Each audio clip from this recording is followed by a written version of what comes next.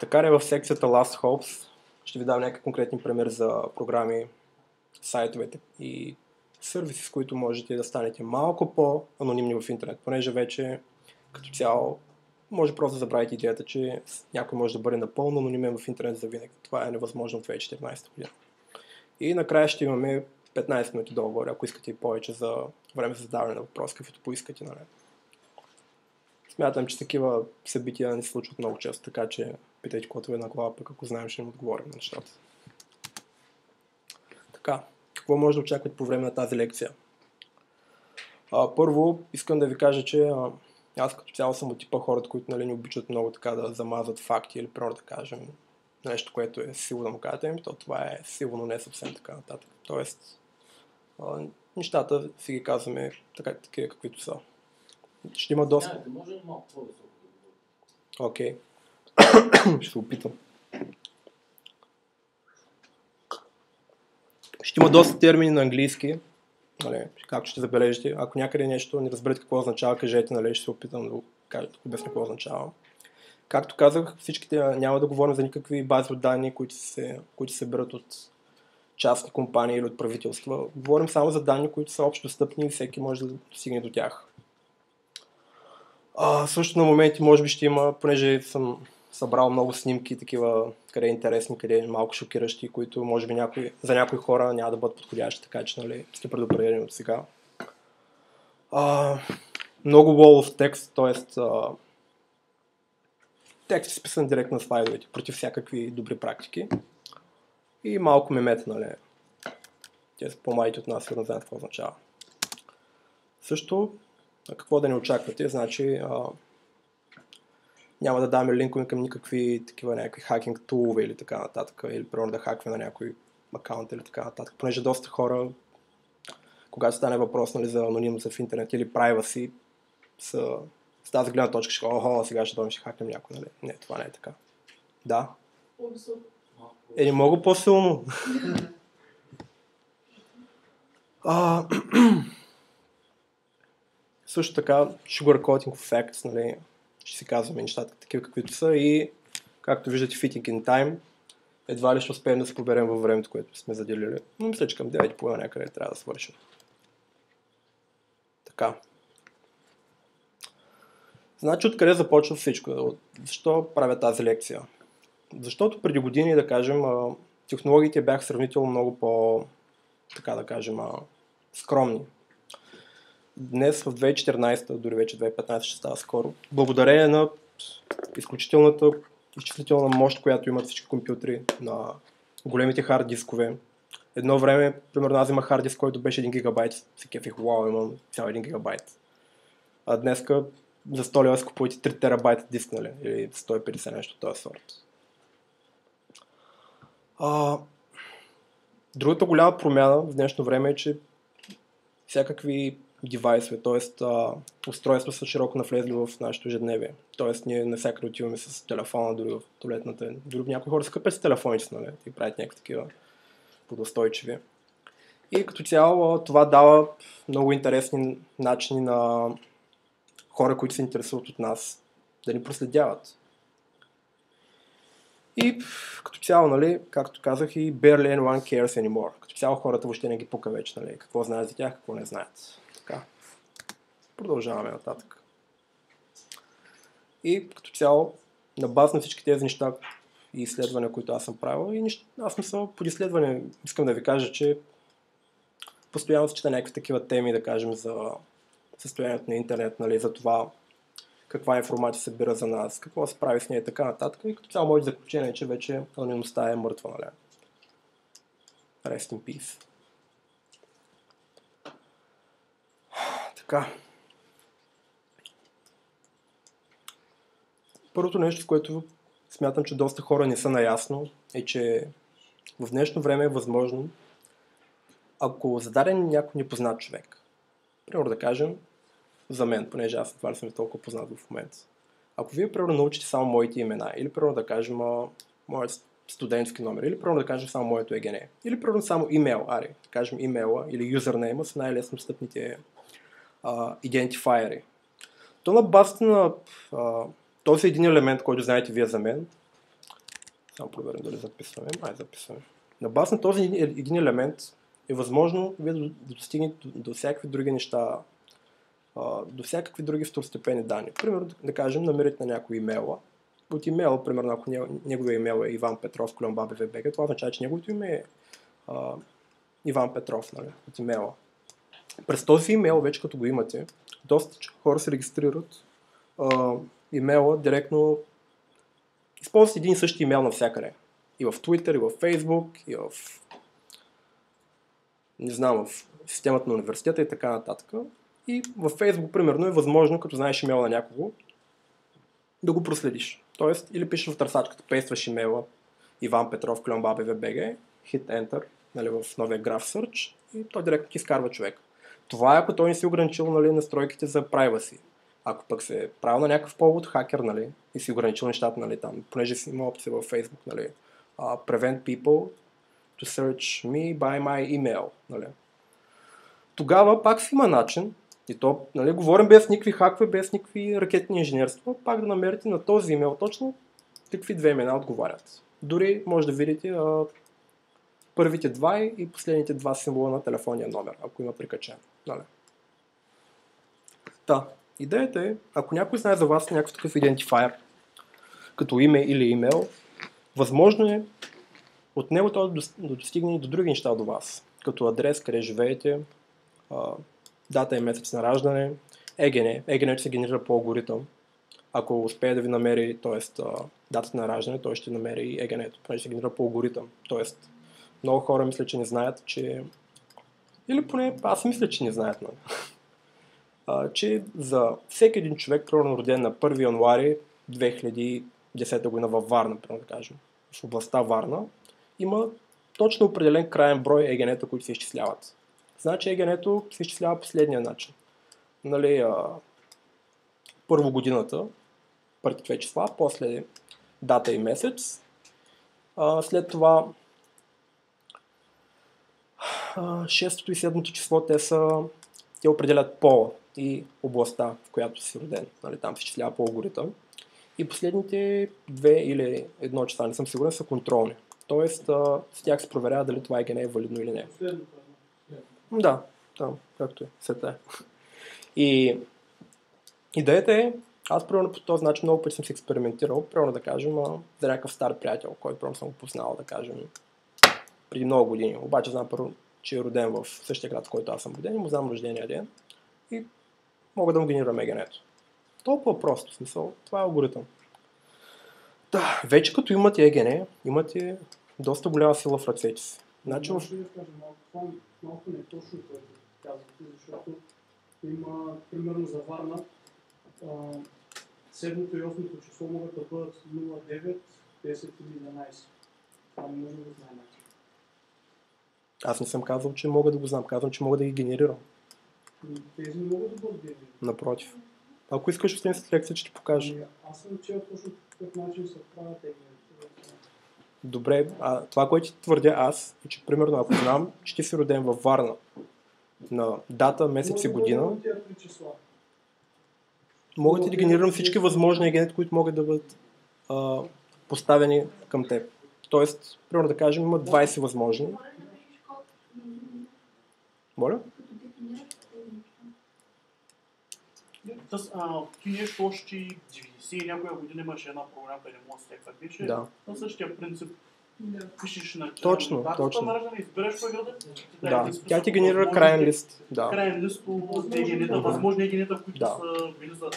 да нали, аз точно за това говоря възможни, а вече сам трябва да разбереш кое е точно неговото. Това вече... Само номера, че се скъсяват до 10-100, те да 100 човека да, да, са около 100, може и повече. Не е специално. Сега са до някакъв една брой. Ами да ти кажа, числото е може би около 40-50, по-малко от 100. Да. Хора, които могат да бъдат да. Те винаги са направени за всеки град толкова, че да са малко повече от предвидения максимум. Но е, но е крайно число, в смисъл. Алгоритъма така е направен, нали? Което според мен супер глупо, но няма значение.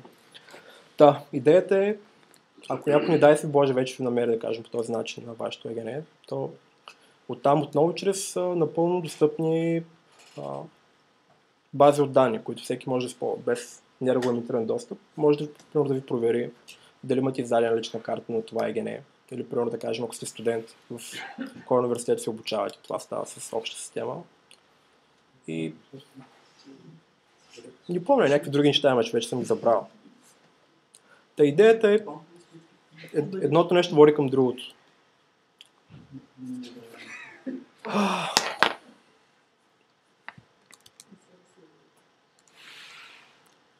Така.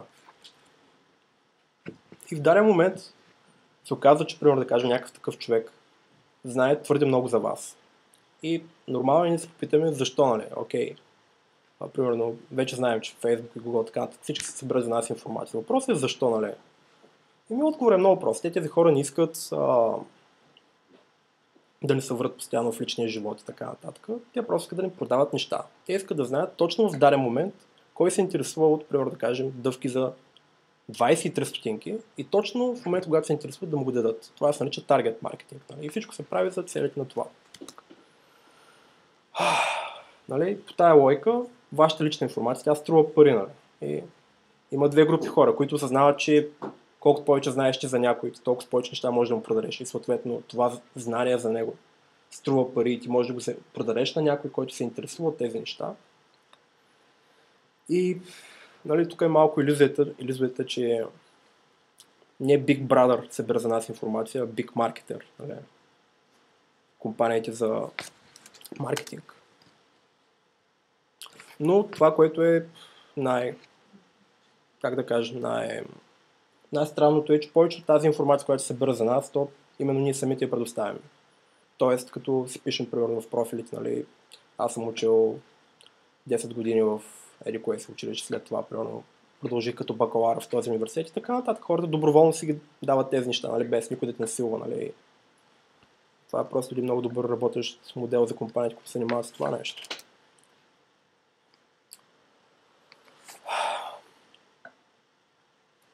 Значи има нещо, което аз не разбирам. А, по-късно ще видите в примерите. Защо, например, трябва някой, който и да е, да споделя буквално всичко, което върши със своя живот. С всички, с целия свят.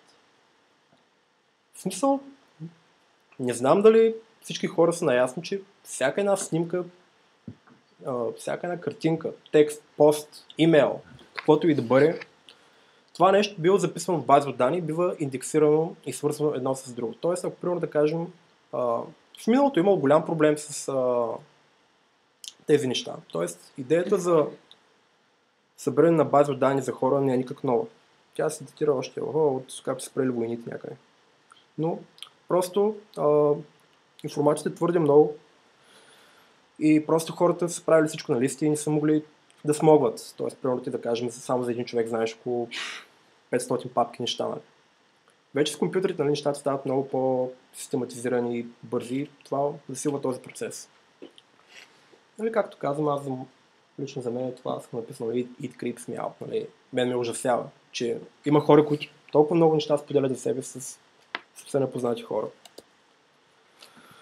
А, знаете ли какво е Predictive Profiling? Ма някой да знае тук.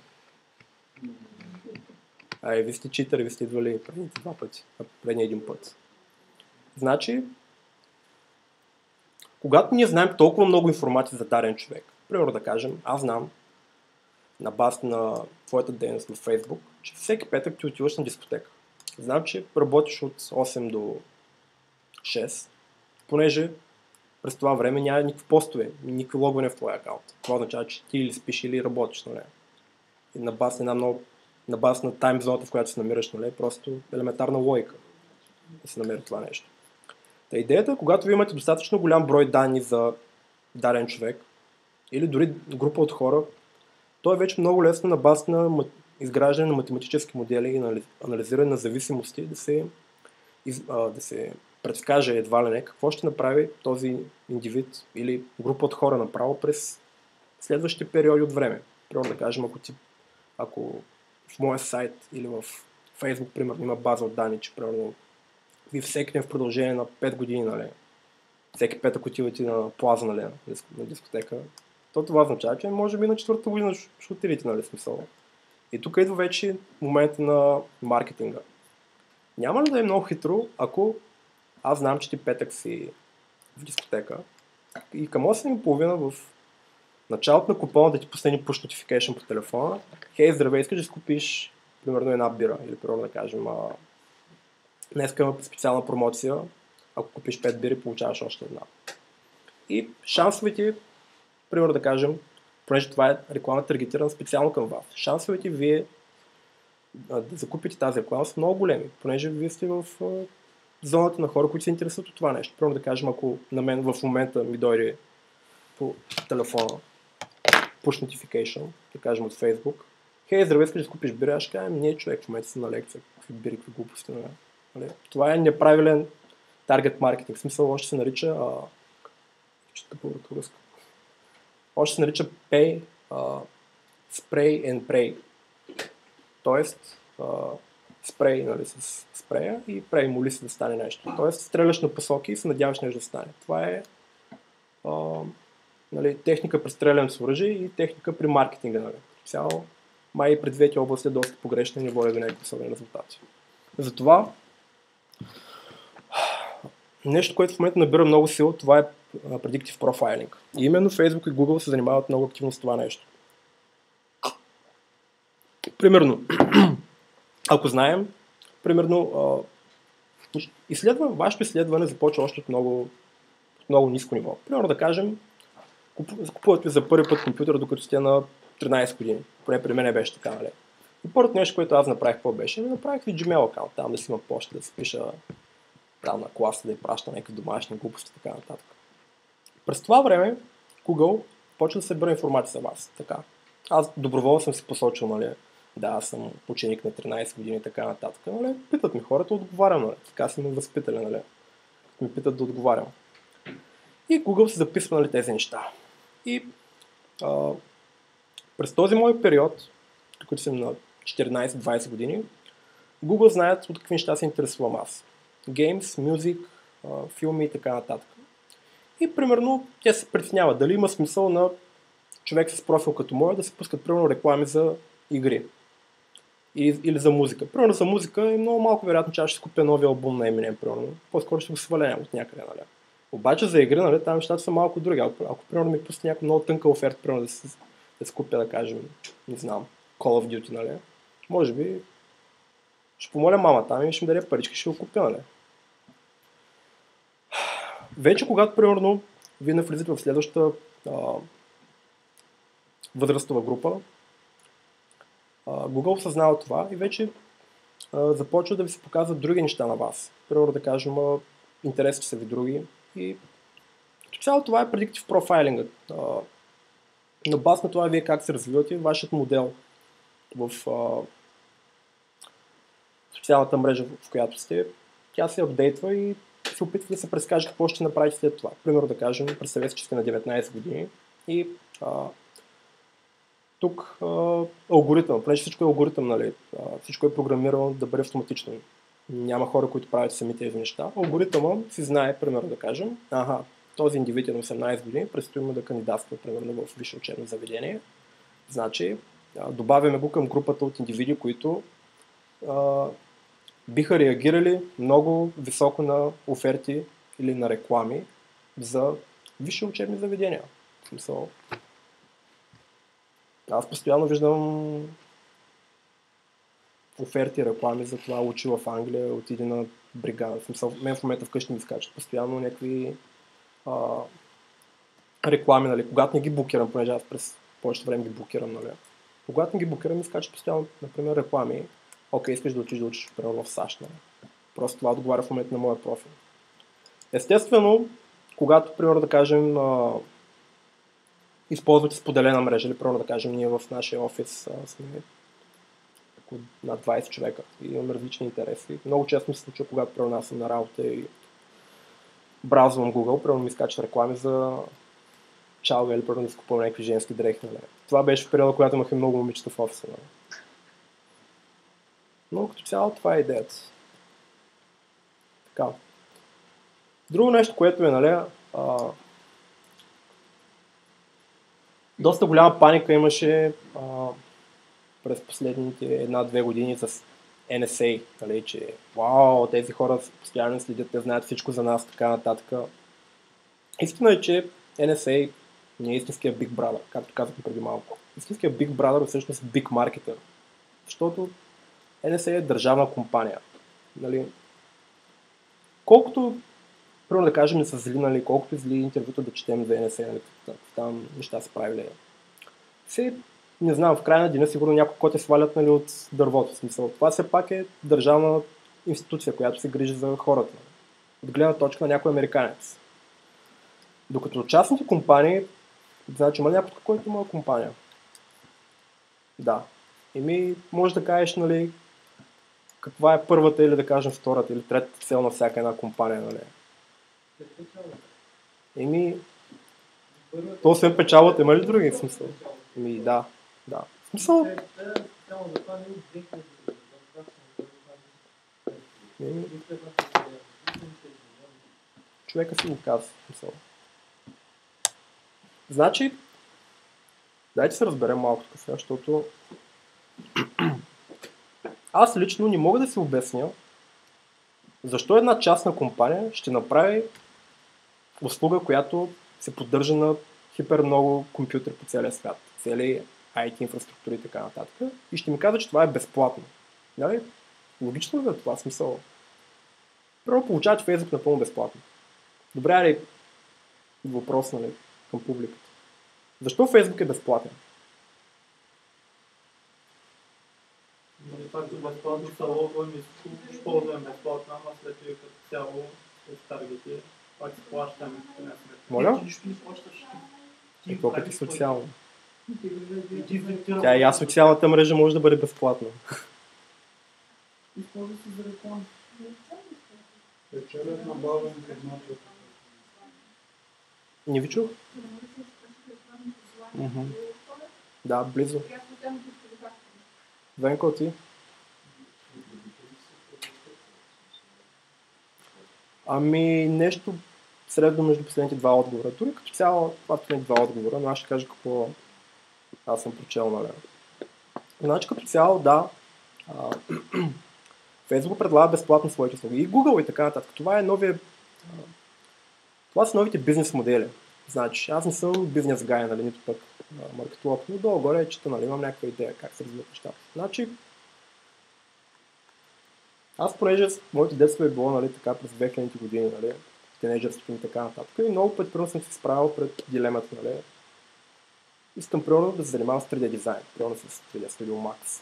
И отивам на сайта, цикам download и програмата ми казва, окей, добре, две седмици ще използваш, няма проблем. След това трябва да платиш 1499 долара. Аз чакай малко и човек, аз толкова не съм виждал още на едно място, как съм роден. Идеята това е грешен бизнес модел. Ти няма как от, няк... от а, някакви бедни такива деца или примерно студенти да вземеш такива пари. Това е напълно грешен бизнес модел. Затова, поне аз така, така както си го мисля, нали, това са новите бизнес модели, при които нещата изглеждат безплатни, но реално ревенюто, т.е. печалбата идва от съвсем други неща. Примерно, това беше много интересен въпрос, който много ми хареса на една лекция преди няколко седмици. Знаете ли какво е основното занимание, т.е. на Макдоналдс, нали, откъде те спечелят парите? Да, да. Идеята про нас не го знаех, нали, смисъл, аз викам, те продават хамбургери и това е. И също и при Фейсбук. Значи, при тях въпросът с показване на реклами, те реално това е около, мисля, че около 20 или 30% от ревени, от което генерират. А реално всичко останало е от а, договори с а, таргет маркетинг компании. Тоест, те им предоставят данни. Те, Facebook имат най-добре изграден модел за хора, т.е. таргет маркетинг модел до момента, според моето лично мнение. Дори по-добър на Google. Но да продължаваме да че много се бавим. И, както ви казвам, когато аз бях, бях малък, имаше един израз. По дяволите не исках това да го казвам, примерно да кажем. Казал съм нещо тъпо на някого и си казвам, не исках да кажа това, нали? Съжалявам, беше глупаво. Исках да ти кажа, че си тъп, нали? Еми, вече Такова нещо просто съществува. Ние говорим от гледна точка на технологиите.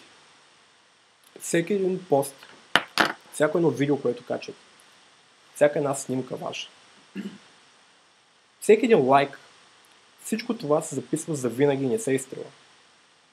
Точка. Не се изтрива. Дори когато го изтриете, то просто се скрива от вас. Не се изтрива. Това нещо значи. Имате компютър, знаете, в един текстов файл, примерно да си напишете някакви есета, е около колко? 2, 3, 4, 10 килобайта. Ти трябва да си луд да имаш толкова много терабайти сървъри и такава текстова информация да я изтриеш. Не, нищо не се изтрива вече. Това е.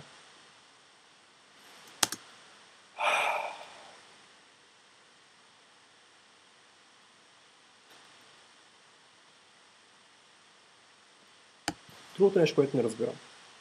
Още малко по-общи неща. Вече хората говорят толкова свободно за своите по-лични неща, нали, като сексуални предпочитания, лоши навици, т.е. пушат, пия пръвно, или дори за престъпления, които са завършили. И дори ги споделят в социалните мрежи. Аз да го разбера това нещо.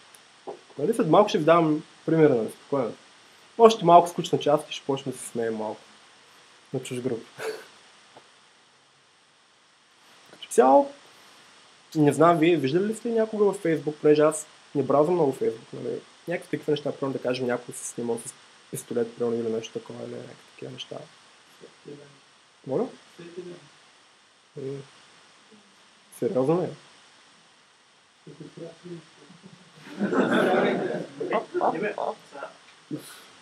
зависи от каква таргет група. Е, не, примерно, гледаш в таймлайна какво скролва постоянно, нали? Нали така му се вика таймлайна, нали? Еми, да, там да ти скачат твоите приятели и понякога на приятелите, приятелите, нали? Какво показват. Не знам, аз, аз съм написал, според мен всеки споделя всички тези неща заради вниманието просто. Това е също нещо, от което доста мисля на- напоследък. Чувството, че получаваш внимание. Значи, аз лично за себе смятам, че не търся чак толкова голямо внимание през повечето време. Но смятам, че цяло това е проблема с това прекалено споделяне на информация. Така. Има някои неща, които в интернет просто има неписани правила, че не трябва да се правят. Едното от тях е да почне да спорите с някой, особено в такива по-загадъчни сайтове за новини, като този пример. Този е някакъв английски, но примерът ще видите актуален. С някой, който просто е написал някакво мнение. Така.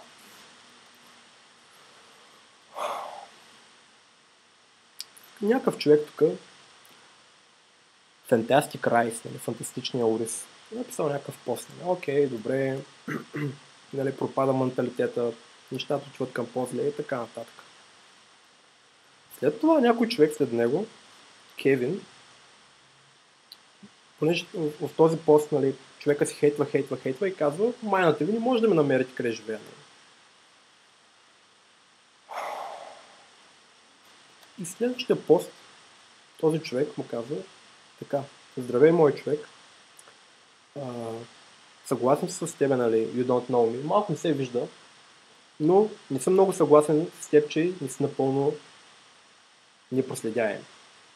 Your name is така, така, така, е ритмото. And you live в Portland, Oregon, така нататък. И тук пише You are pretty, така цензурирано в триатлон и в послед... последната година си съм съжалявал и така нататък. Живееш на адрес 152 и така нататък, и така нататък, и така нататък. Значи този човек какво е направил? Поснал юзернейма на този горкия човек, с който е се осмелял да хейтни и е написал всичко за него. Това, което ви говорих преди малко. Аз съм ви казал, много пъти съм виждал. Прекалено много пъти съм виждал, че...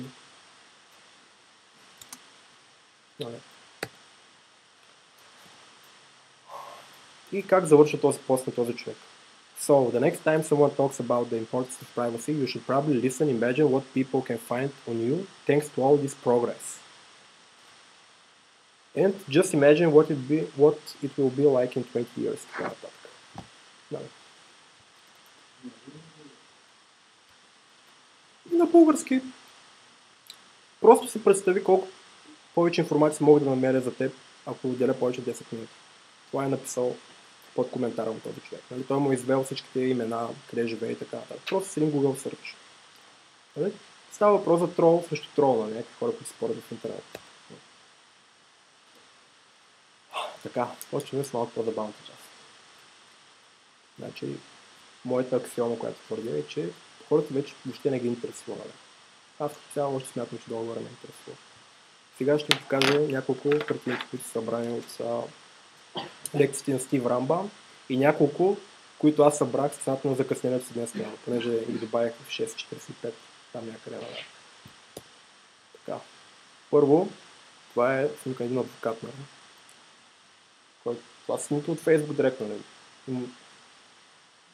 Нали, Правилно. Това ми е любимата апликация за iOS. Някой има ли идея за какво става въпрос? Дай, казвайте направо без ръце. Дай, дай, кажи. Да. Добре, I just made love. Има и GPS, Google карта май. Да. Да, това е работеща апликация, човек. Аз дори се свалих на телефона, в смисъл, защото не вярвах, защото в момента си мисля, че половината в смисъл гледате тези неща и казвате, нали, това са някакви измишлети. И аз така викам с човек, викам, това не може да е искрено, ще вляза в Google Play, ще го проверим и има такава апликация, работи човек. Смисъл, като се логнеш, нали, ти пита, здравей и така нататък, аз как да използваш приложението, включи си GPS, да няма проблеми, свърши работа, нали, както трябва. Нали? Къде пише рейтинга? Има ли рейтинг на апликацията? Ай, не знам. Също има и синьо с синьо зайче някъде. да. Нали?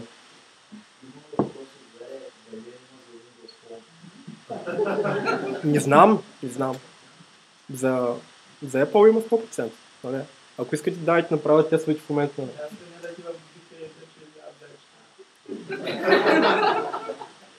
Не знам, ще го пробвам между другото. Това е добра идея. А, да, това е вече пък, понеже това е от миналата лекция. Понеже не вярвах, нали, че още работи това нещо и когато им отворих сайта, вече имаше и в сайта, нали, локация. И в момента виждаме, че и в България малко изоставаме. Примерно, гледай в Румъния какво правят. И тук по моретата повече, нали. Така, нали, споделяш ли, лична информация, какво ти кажеш? Не мога да го разбера. Ага, това също ми е един от доста любимите примери за апликации, които работят с лични данни. PMS Buddy. Някой има ли идея за какво става въпрос? Добре, окей. Okay. Сега, не ме убивайте, рано е още. Става въпрос за апликация за жени, в която ти можеш да си изчислява своя календар. Нали? Окей, такива апликации имат доста време. Обаче тук вече сме на ниво Android, смартфон и така нататък.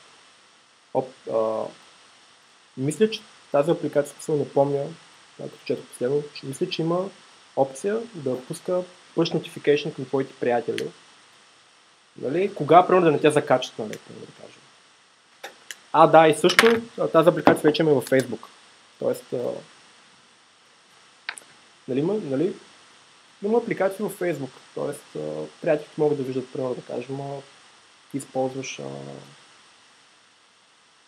Ами, не знам. Нямам коментар смисъл. Колко неудобно се чувствам в направо. Тъпото е, че хората, които го използват, нали, нямат никакви проблеми. Така. Ам... По принцип, в тази лекция иска да дам много повече примери от, за това как ние в българските социални мрежи, понеже като цяло повече от съдържанието е по-на запад нещата как стават и нали, така нататък. И реших да дам няколко пример с нашите социални мрежи. А, много са малко примери, но смятам, че са някакви такива, нали... Това, примерно, го видях днеска, нали? Юнак без не може, защото сега каква е логиката, примерно, да споделиш юмрука на окото, нали, смисъл? Не знам, не разбирам. Така, това, това вече нямам коментари. Не са измислени снимки. Вижте от мутикара съм ги взимал. Да. така. Не. Надявам се, че не. Я. Стига и човек.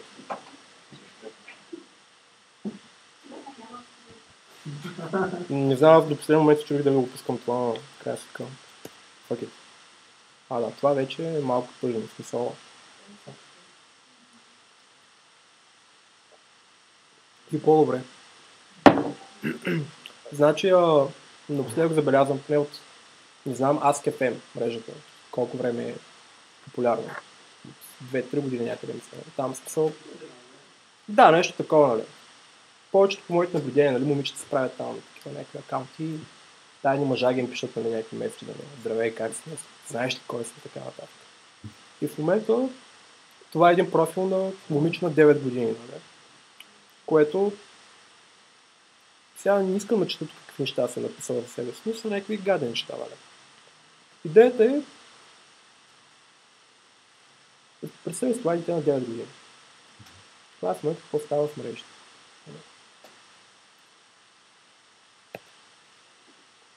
Така, това е нещо друго. Дилър на степчета. В смисъл, усещам се какво може да бъде степче. Ли? М, Не знам, човек. А, да. Също... Да, това не е.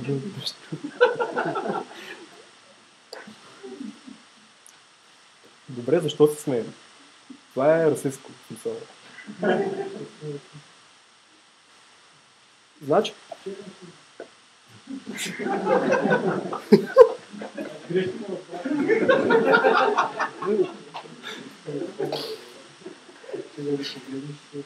не просто... Окей, нали, мен ми е смешно, нали, какво ми е интересно обаче. А, социалните мрежи, специално, вече наблюдаваме едно явление, в което вече няма граници, се разбираш, т.е. аз първо мога да ти кажа, първо, че ще пребия, да кажем, ако не те харесвам в Фейсбук, нали? което първо сега, ако те гледам, нали, няма ти го кажа нещо, може да ми скочиш нещо. Нали? Тоест, границите са много по-невидими в социалните мрежи, което не знам, аз според мен би трябвало да бъде обратното, но а това вече е много нереален случай, много. От нашия Фейсбук. И да правите неделната промоция, така нататък.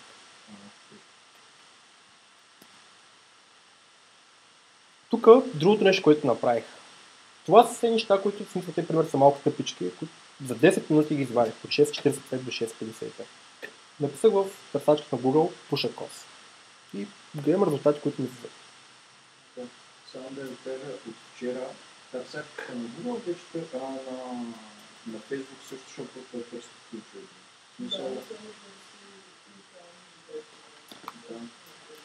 Знаете ли, че това нещо, ако примерно да кажем тези примери, са в САЩ, да кажем, за Германия не знам, за САЩ знам.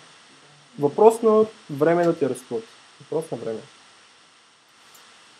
Въпрос на, на време. Там постоянно, там си има цели полицейски отряди, които постоянно ги седят в Фейсбук и кой какво поства. нали. И това нещо, първо да кажем, инцидентно, докато си бил на 16 или така нататък, съм писал веднъж аз I smoke weed, или аз пуша трябва да кажем. Не знам, някакво друго престъпление. Това нещо става за винаги там. Не знам как да го обясня. Смисъл, то не се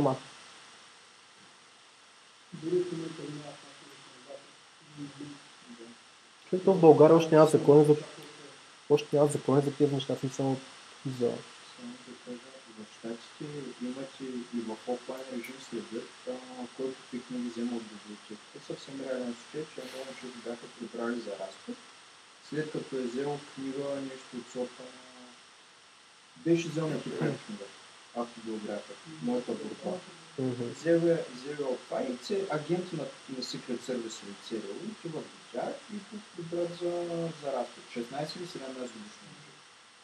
Това е напълно реално. Не, просто пред нас също различни нещата. Аз така си го обяснявам още, не стигнал чак до такива крайности, но, но просто на време. Смисъл. И аз така си мисля, нали? Але това е коментара като цяло. Е, че въпросът е може би защо трябва да интересуват всички тези неща. Ами,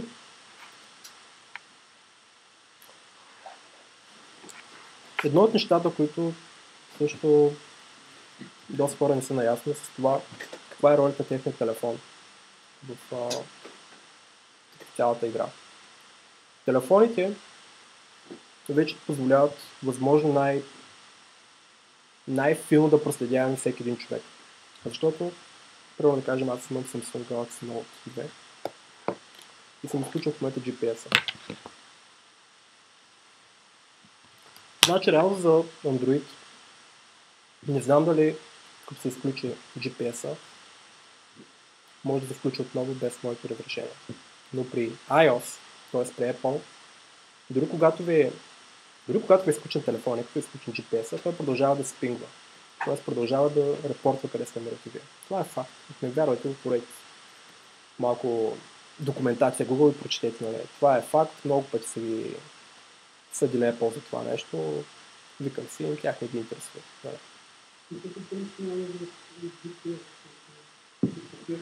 Да, да, да. Просто сме стигнали до там. Ще ви разкажа след малко какви интересни начини за тракване има. Както виждаме Amazon, тук вече почвам с малко по-конкретни примери, а, значи има една мода малко по-далече да тръгна. Много е доходоносно, поне в САЩ, а, да се партнираш с правителство. Защото там правителството има много по-голям бюджет от нашото за такива неща като технологии, следене на хора и така нататък. И примерно за такива големи корпорации като Amazon, Google, Facebook, на тях се дават доста такива, не публично естествено, нали? ако беше публично, нали, никой няма да използва Facebook. На тях се дават постоянно такива предложения за партниране и така нататък. Така наречените обществени поръчки, мисля, като наша.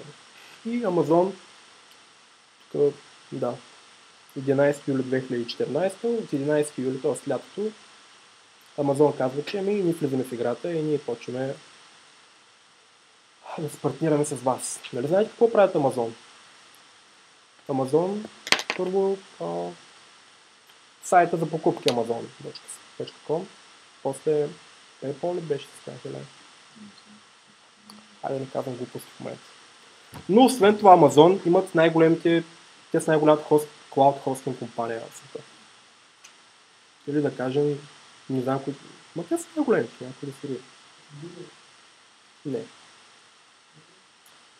Просто това е компания, която има ресурси, нали? Не знам. А, да. Това вече може би сте го видели по новините наскоро. Амазон пускат телефон. Fire Phone, как беше нещо такова.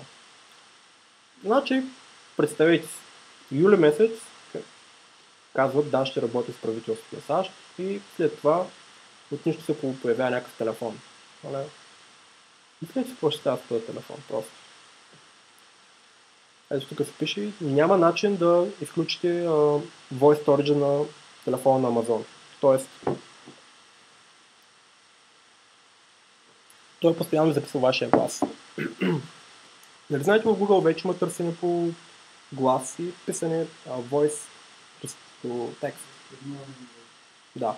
Добре, как смислите, че ще стават тези неща? Смисъл, колко от вас тук програмисти между другото? Охо, събра. Добре, как предполагате, че става това нещо? Не? Да пообсъдим малко.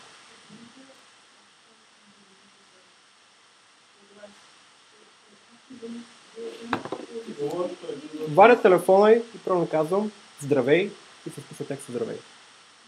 Казвам му как си, текста как си се изписва веднага. Без да питам нещо.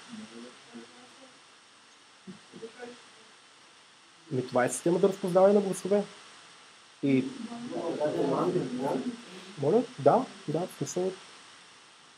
Това е система за разпознаване на гласове и... Да, кажи. За България, ние конкретно бяхме част от работната група, а, специално преди значи, 3-4 години. 4 години вече а, Google за България специално за да си направи Voice за търсачката, този изпълнително проектът е беше Google, като представители на фирмата. Нали? Снимаха хора, които да направят, да зачат при брой хора как изговарят думи. Те си бяха едни устройства такива телефончета на Google, си мисля така. Мгм. най-най-най- Като трябва да се изписва думата и тя, нали, тя казваш и то, то тя записва. А, като трябваше, това нещо трябваше да се случва в различна среда. В смисъл имаше в кафене, в градския транспорт, в къщи сам. Нали, като идеята е някакви статични шумове да не ти избегнат. Записват се. Таргет групата беше определена бройка мъже, определена, определена бройка жени, възрасти най-различни, които бяха разпределени нали, са и така с по-големите градове на страна. Специално така Google са си събрали база данни за Voice Search в България. Не знам колко е разработен модел на база. Окей, ще кажа моята версия неща. При iPhone не може да се изключи записването на глас. Не може, то постоянно, е- постоянно е изключено. Идеята е, много по-скъпо е да на- наемеш група от хора, които цял да направят само това. Те след ще искат някакви пари от теб. нали? Не можеш да ме накараш 500 пъти да кажеш прямо здравей днес и да ми дареш нещо. Много по-лесно е и ефикасно, ако ти имаш всички потребители на света, които постоянно микрофоните ти си ги включени и те да казват всякакви думи и да ги анализираш на база на алгоритъм. Значи много хора не са наясно, поне тези, които не са програмисти, нали? Доколко са развити алгоритмите вече на програмите и какви неща могат да се направят. Направил съм един пример тук с малко програмиране после на Вече става още по-забавно. Да, продължаваме да правя, че се бавим. Аха, знаете ли този сайт Wayback Machine? Колко хора го знаят? Значи, а, като цяло, много хора го подценяват този сайт, дори аз, но имах, имах а, такъв случай преди една седмица, когато исках да видя един сайт, който преди много време го бях видял, той беше на един приятел. И идеята на този сайт е, в него има всички по-стари версии на даден сайт. Примерно, дал съм пример с нашия фирмен сайт 158. Ето вижда се, че нашата компания от 2008 година по принцип. Значи домена може би е регистриран в началото на 2009, като вижда се януари. И се вижда, нали, колкото по-голям трафик има към сайта, толкова повече резултати има индексирани. И сега ще покажа какво е показва.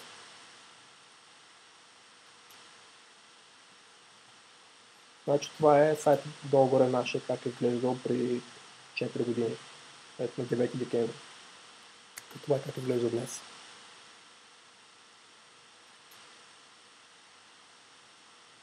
Оле. Няма как да избягат. So, всичко се писва и това е. Аха. Знаете какво е Occupy Wall Street? Колко хора знаят? Ехе, само аз. Моля? Еми... Добре, прекъсвайте смисъл... Моля? Ами... Да ти кажа честно, аз мислех до...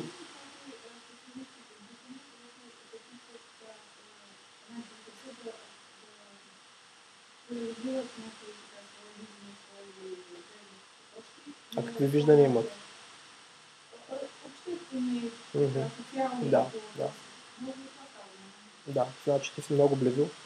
Като цяло аз си мислех, че поне по това, което бях чел по новините, че Occupy Wall Street, това е като цяло едно мероприятие, което се е провело през 2011 година. Там, я не знам. Сега ще прочетем. Да, през 17 септември 2011 година, така нататък. Идеята е била протест срещу финансовата система на САЩ. Нали? Знаете модела. 1% от населението притежава колко? 99% или колко са там от всички блага. Нали?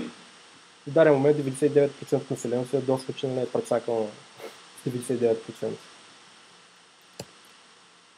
Страшен ли беше този слайд? Ли? Статистиката за е така. По-малко е 134 души в Русия. 134 в смисъл. Русия има 135 милиона население. 130 130-135 души контролират 65% от всички пари, които са върху Русия. Добре, не. Както и да е. Идеята е, тук се поиграх малко. Това е един и същи слайд, който е написан с черно и с бяло. Как се струва по-страшен? Еми, идеята беше тук, това беше докато пиша, докато правя самия слайд. От една страна може да се погледне, че това е някаква хакерска групировка, нали, анонима с маски и така нататък. Идват и пречат на най-успешната улица в САЩ да се вършат работа, защото тези хора занимават с финанси, имат работа да правят, нали, и ти отиваш там им пречиш нали, своите тъпи хакерски активистски движения. Другата гледна точка е, че това са хора, които реално ги... Опа, не тук. Че. Другата гледна точка е, че реално тези хора се борят за някакви морални ценности, така да се каже. Това, което наскоро научих аз, отново, нали, чрез новини и така нататък. Това е било мирно, съвсем мирно мероприятие. Нали. Окей, ня. хората малко са викали, може да, кажа, в маските, размахвали се ръце, плакати, но нищо повече. Нали. А, специално а, в САЩ, знаете, около 80-90% всички използват iPhone. Нещо такова. Всички хора на тези протести, които са били с iPhone, са били записани, проследени и идентифицирани. Всички. Тъпото е, че съм забрал да кача тук статията. И това е през 2011 година преди 3, скоро става 4 години. Да, да, всичко, използва iPhone.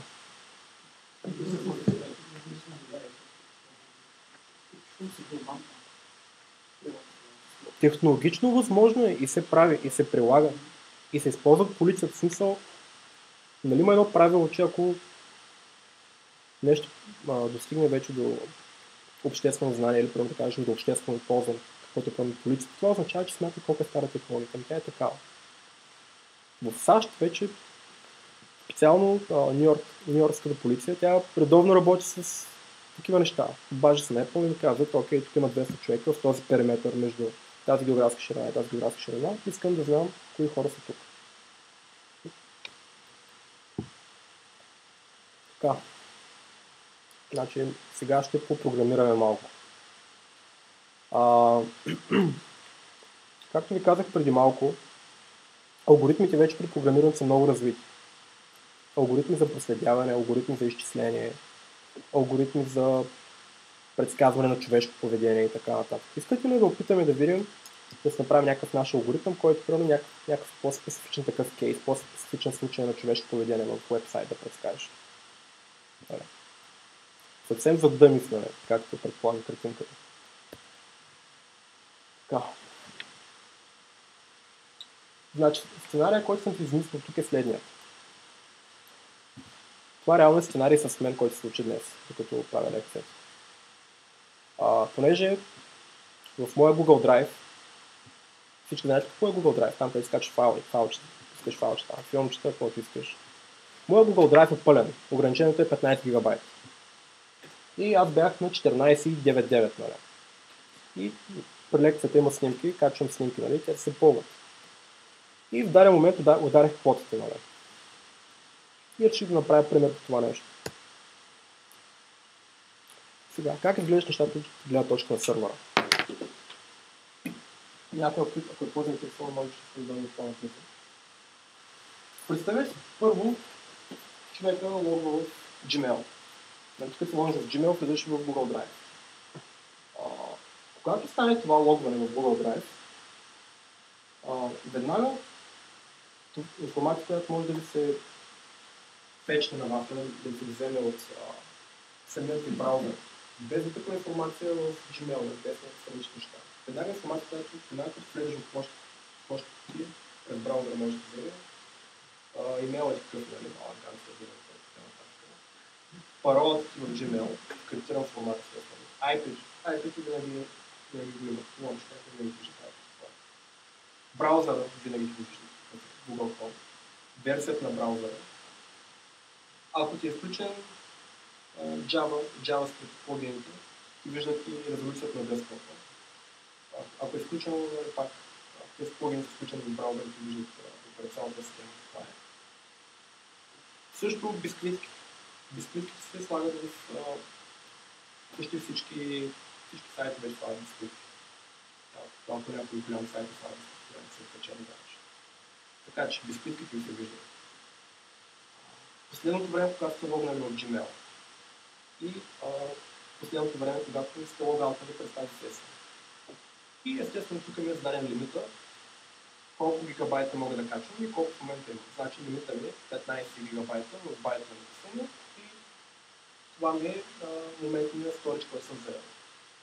14 Има нещо. Така, аз съм логнат в Gmail в. Това е код на сървъра. Реално как работи Gmail. Нали? Това е някаква супер голяма абстракция на някакъв супер псевдокод. Идеята е да видим долу-горе от програмна гледна точка как изглеждат нещата. Искам да скача снимка. Hello, this is me, oh, Когато подам тази заявка към сървъра, нали, клиента, т.е. аз тази заявка към сървъра, той веднага проверява. Размерът на тази снимка плюс моментно заетият storage по-голям ли е от максимално позволение за този потребител. Тоест, ако аз имам да кажем остана свободни 1 мегабайт, няма да мога да кача снимка 2 гигабайта. И ако е така, нали, може да чета снимка, съжалявам. И реално, аз се опитвам нали, с това заето пространство, нали, това, в Google, 14.9.9 естествено, този кейс тук ме засичат, нали, че нямам място на програмния код сервера попадам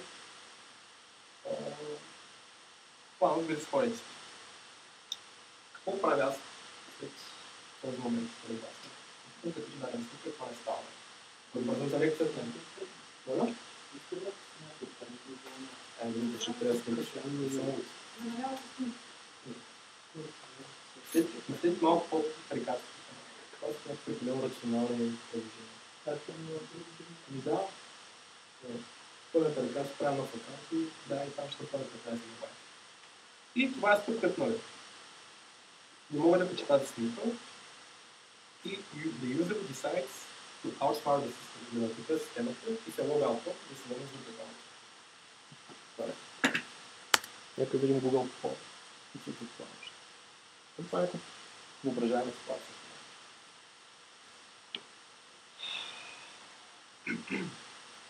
подавам заявка за логаут. И когато я подам, сървъра проверява. При него пристига заявка. Този потребител желая да се логаут. Обаче той преди да позволи да се логаут, аз трябва да проверя нещо при него. Запиши всички негови актуални данни и след като тези неща са записани, тогава вече го изкара в системата. Какво се записва? Записва се последното, някакво, което се отразявало, отразявам съм браузър и така логаутът съм, излязъл съм. Изпълнен се функция, която ми запаметява моите неща. И като цяло,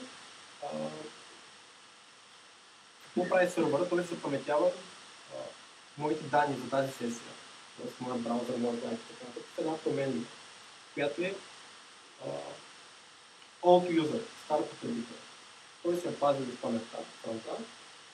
И аз съм в системата, вече няма new user, има само last user. Old user. Идва нов потребител към системата. Old user се следващ. Какво ще е, чето аз да проверя? Дали този новият потребител, който идва, не е същия като този, който ще изляза. И точно това е такава проверка. Провери дали новият потребител IP е също стане. Провери дали браузъра не е също като стане. Провери дали кукито е също като стане. Тоест, ако не си използвал друг браузър, бъде също, защото после параметри там като го изкроиш. Провери дали операционната система е същата, пак в Windows 7. И провери last user action, last user action interval. Дали последното действие, което се направя, е по-малко от 30 секунди. Тоест, защото реално ако се представи ситуацията примерно да кажем интервал последното бутане на нищо, е по-голямо 2 часа, то на това часа съм става някъде и съм дошъл. Реално. И някой друг дошъл на компютъра и седна. Ако примерно да кажем, се помогнал, чакам 5 секунди, веднага влизам това начало, това е същия човек. А, идеята в тази проверка е вижте да сравнявате 5 параметъра. Ако тези пет параметра, да кажем, вече сервер се изчисляват, да кажем, поне три има съвпадение, това означава, че минимум 80% шанс, това е същото контракти, който се договори с друг акаунт, да заобиколи системата. Много добре нещо. Много?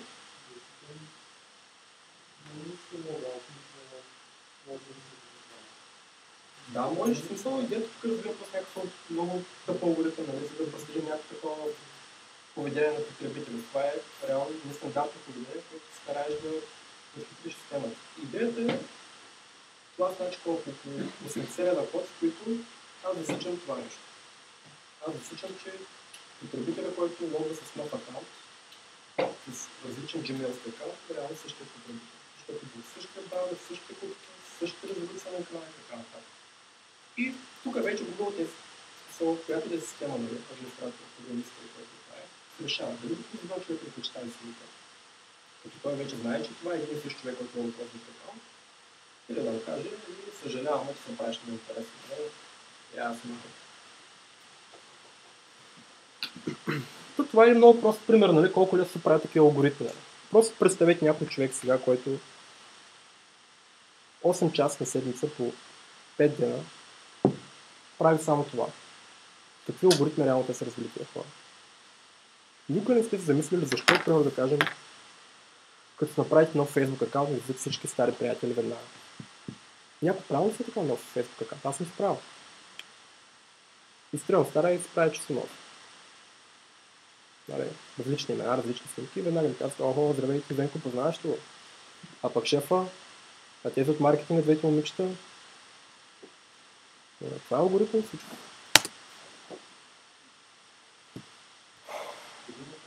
Да.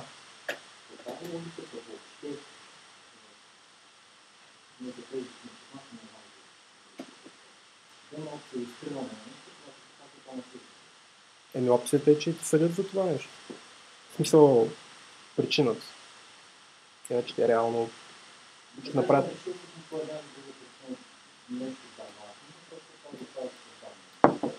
Еми, за да се, за, за да се даде на забуда на тебе, че ти реално имаш контрол. Еми, да целите на забудата за какво?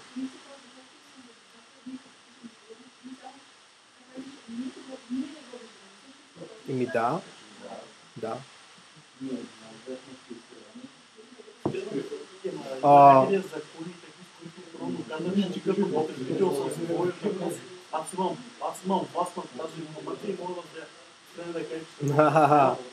Във Фейсбук нямаш власт на данъци във Фейсбук. Това е написано в Terms of Service на Фейсбук. Всички, всички снимки, които качвате във Фейсбук, са собственост на Фейсбук. Те са ваша собственост, те са собственост на Фейсбук. Всичко после, като пише, това се го пише в техните Terms of Service. Там, Време където е е. идеалното място, което никой не го чете и не знае какво го 91% от хората дават I agree и колкото му пише вътре, че е, че е, напоследък, не знам дали сте забелязали, ама 90% от хората, които се написаха с този пост, заявявам, че е личен Да, да, да, да, да, да. Тъкмо натам отивам. Това са по Ако един фотограф скачи цялото портфолио си на Фейсбук, те стават публично достояние и може да използват абсолютно свободно. Може, може. Може, може. Във Фейсбук, във Фейсбук може.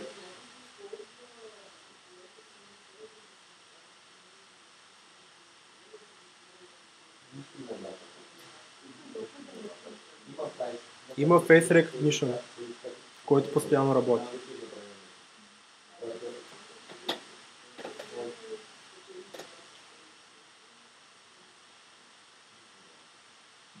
Случая тогава може да го репортиш и той директно ще го отрежат към него.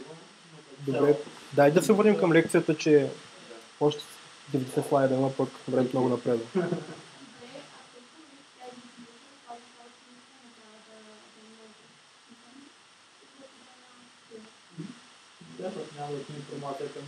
Еми, това вече са малко по такива философски теми. телефона, откажи се от интернет, няма какво без да работи. така, Идва момента, какво се е променило? Телефони, навсякъде смартфони. Смартфони е портват GPS, чрез GPS знам къде се намирате, знам какво правите. Знам с кого сте, знам какво се интересувате, знам как се казвате, знам къде живеете, какво правите постоянно. Voice to text и Video Interpretation. За Voice to Text говорихме преди малко. При Android, честно казвам, в момента няма информация как. При iOS, там, а, микрофона постоянно се включва. Анализ на видео. Това е едно нещо, което в момента се развива. А, вече има такава технология, която дори се използва. Примерно да кажем качеството дадено, дадено видео, в което се виждат момиче и момче, които вървят примерно по улицата. Аплодвате това, пускате софтуера, софтуера директно казва. Това, това са момче и момиче и се движат. Знаете, пред общината са камери, които снимат а, на червения светофар. Отново, софтуер за, разпоз... за разпознаване на движение, за анализ на видео. А, директно ти казах какъв цвят колата, ето ти номера на колата, час и дата на нарушението. По-интересен е въпросът с камерите. Значи в момента тече процес, а, където в а, по-зап... повече в западните държави, навсякъде почва се спамят камери. Значи, не знам дали имам слайда, в който има статистика за Нью Йорк. Примерно 2000 година е имало преди 11 септември, само да кажем около 4000 камери или нещо такова. А пък след 11 септември, около 2010 някъде, над милиони, това нещо такова беше. Идеята е всички тези технологии, те се използват за да събиране информация. Това води до супер акуратен таргет маркетинг. Естествено, всичко се прави за пари. Нашите очни ябълки струват пари. Така. Тук е малко пак забавни примери. Това е а, профил на един потребител в Twitter. JSOL или нещо такова. Значи, потребителят JSOL, доколкото спомням статията, която беше за него, той е бил следян, понеже е бил от арабски происход от службите на САЩ. И го викат човека един път, два пъти, три пъти, четири пъти, пет пъти. И той накрая се ядосва, нали? Казва, вижте какво, сега ще го правя аз. И почва постоянно твитва какво прави. Ето то се вижда. Преди 20 минути, тук ще разлязох от работа. Преди 6 часа на работа съм. Преди 7 часа отивам на работа. Преди 9 часа събуждам се и взимам душ. Тук това, което исках да направя е да сърчна малко българския Twitter, понеже например, почна да гледаме него. Има някакви профили на някакви хора, които буквално всичко спишат какво правят там. Днеска отидох на училище. Пихме кафе, смяхме се с 10, така нататък. Техни цели живот там. Има някакви хора, които имат 20 000 твита. Има Имате такива познати? Аз имам. Как може да имаш 20 000 твита? Смисъл, аз мога да броя на толкова.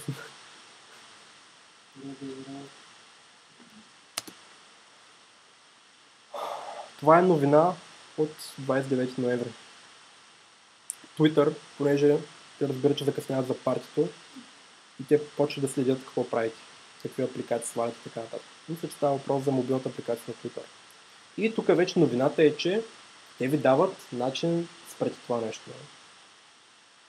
Где те са събирали, събирали, събирали данни и вече решават, окей, на Mills ще ви дадем начин да спрете тракинга на апликации, т.е. Да, да виждам какви апликации имаш инсталирани с телефона ти, да ти правя профил, да го продавам на други хора и да знам, че Венко има Skype, Facebook и примерно някоя червена апликация. Такава.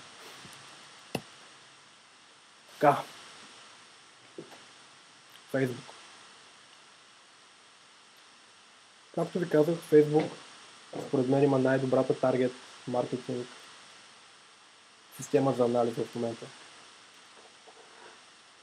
Единственото нещо, с което се занимават хора в Facebook, смисъл като девелопери, като разработка на алгоритми, това е анализа на вашето поведение в Facebook. Нищо друго. Тоест, какво правите, кого сте, какво си пишете, кога си пишете и така нататък.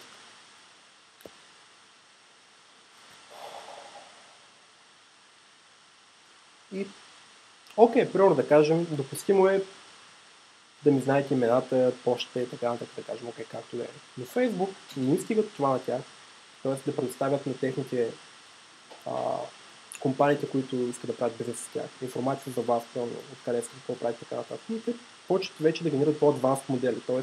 вторични изводи за вас, като примерно религиозни наклонности, или примерно да кажем политически представи, така нататък, или примерно да кажем като момичета спадате примерно. Нали?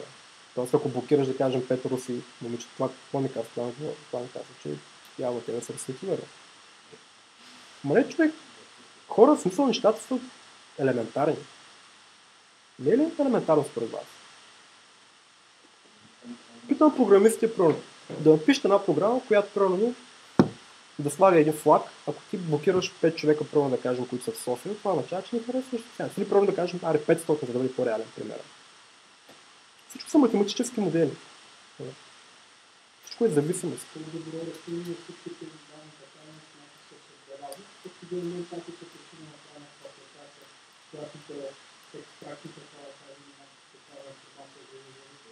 Вижте, да може да Да.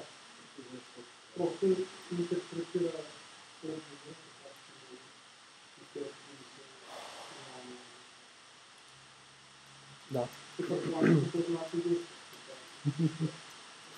И да, като цяло хората не ги интересува дали стрелят и крокодилите с пистолети съм писал, много хубав пример. А хората ги интересува пак какво да ми продават.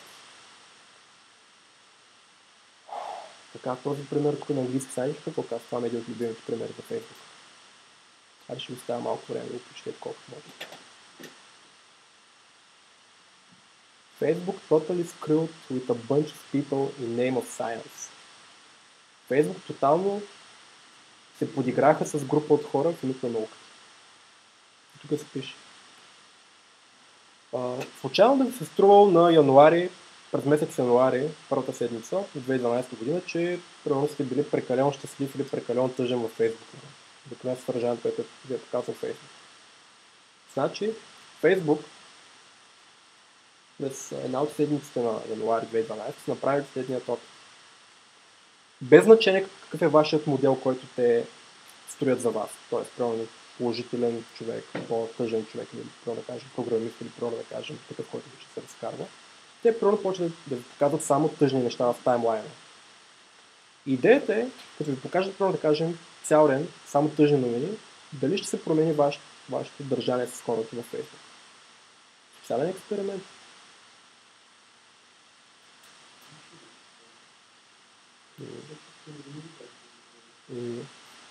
И ако не са го публикували, няма да съм го включил. Така, знаете ли какво е Project MK Ultra?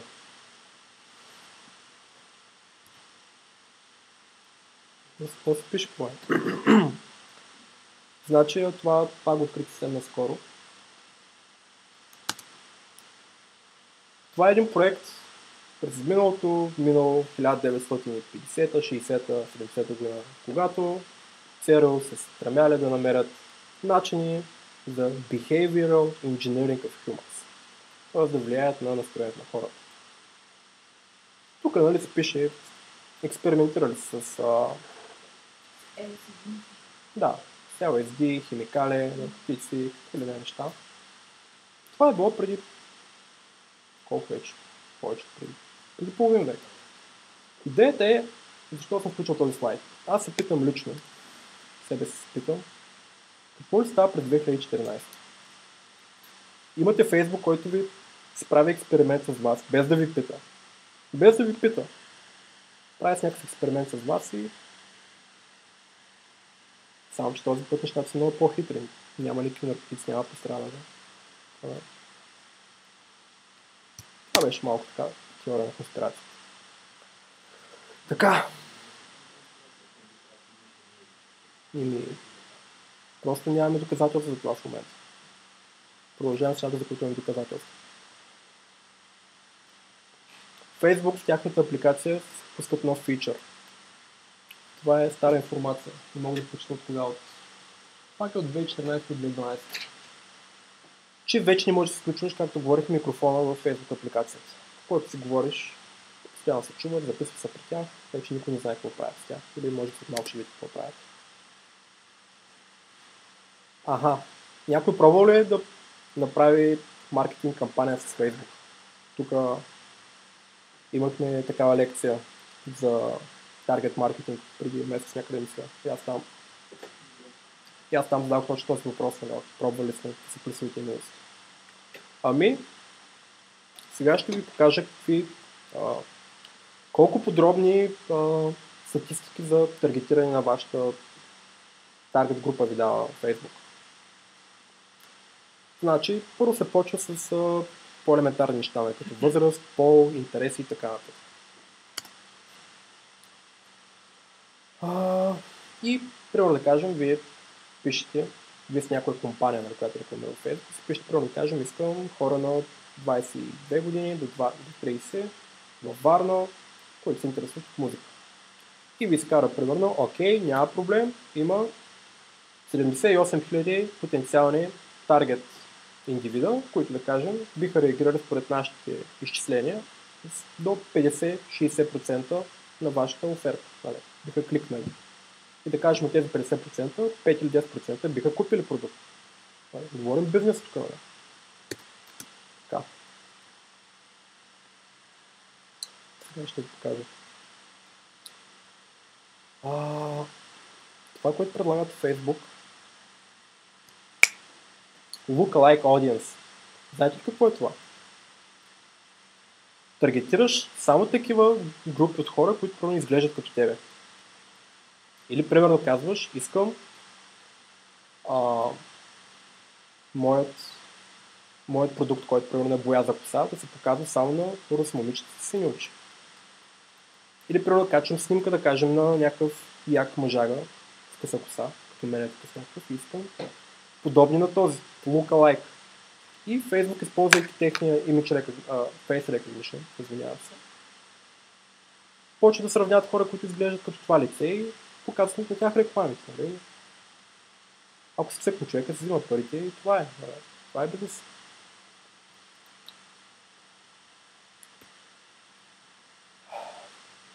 Другото нещо, което Facebook и Twitter постоянно правят, те ви карат да си използвате реалните имена, не случайно.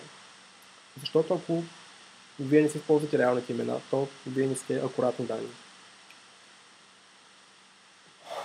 А, също както сте забелязали, то си има блокиращ алгоритъм там. Примерно да кажем, аз бях направил един такъв фалшив профил преди време. Джон До. Тогава още името Джон До мисля, че беше забранено. Какво стана? Минах с няколко месеца, логвам пак с този акаунт, нали? И ми казва, бе, каквото ми се каже Джон До, това е единствено име, или се напиши истинското име, или акаунта ви ще бъде суспенднат. И това е.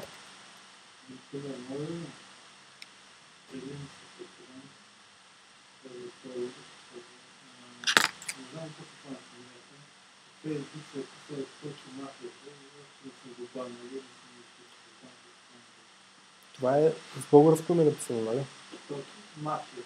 Да, значи за английски имена, все, за английски имена вече е късно. За български имена все още има толеранс. Човек въпрос на време, всичко става на английски. Отново година точно, вече с, с лична карта трябва да се потвърдиш това иначе замира. Доколко Фейсбук е навлязъл в нашия живот? Значи тук има една статистика. Да, е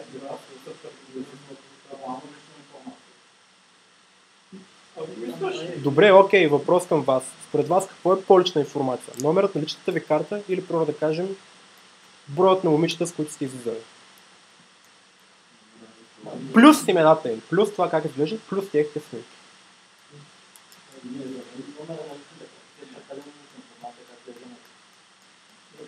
Е, гледай тук.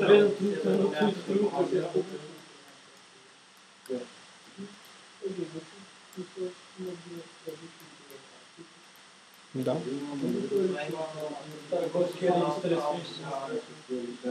Да. Дори не сме ги засягали тия теми, човек. То няма време.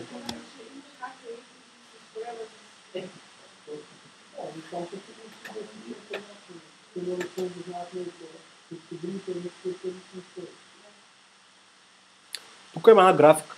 която показва колко време а, average, нали, сред- а, на средно хората прекарат в интернет и в Фейсбук. Значи това е гра, графика спрямо доходите.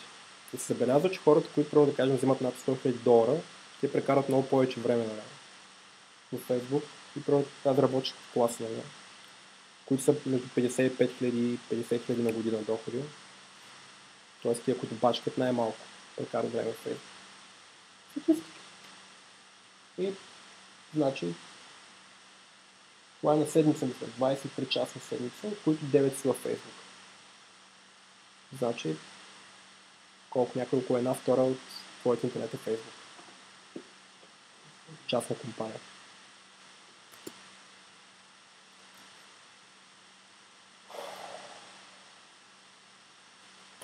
Друго нещо. Както говорих преди малко, Facebook има апликация. Когато вие използвате дадена апликация, трябва да кажем, казва ти, а, може ли апликация Хикс да се конектне към вашият Facebook и да ви използва прямо таймлайна, постовете и приятелите. Ако му дадете Yes, той не стига, че взима вашите данни, но взима данните и на приятелите. Тоест вие ги вкарвате в база данни на апликацията.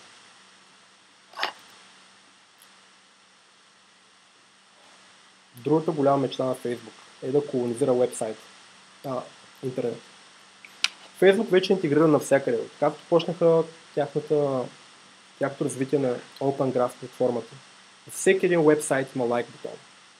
Има цели сайта, които ако изчезне Facebook, няма, няма да могат да работят, защото просто някакъв сайт използват само Facebook логин.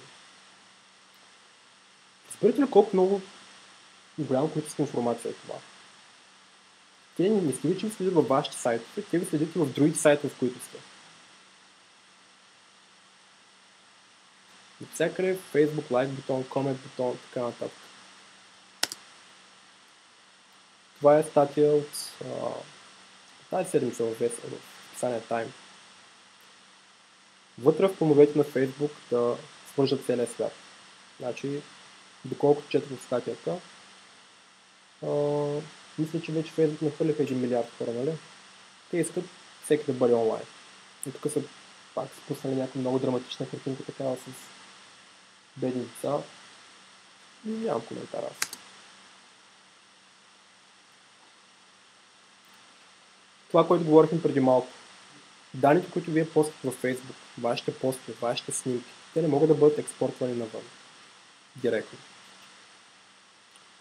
Защото те са собственост на Facebook. Това се напише в техните Terms of Service в 2009 година. Тоест, ако напишеш някакво много хубаво съчинение, или просто да кажем, не дай се Боже, някой е толкова стъп, да, да, да, да някакво изобретение, примерно, да го публикува във Facebook. Ми, То е на Facebook, не е твое. Е, какво не е вярно? Включите си Terms of Service.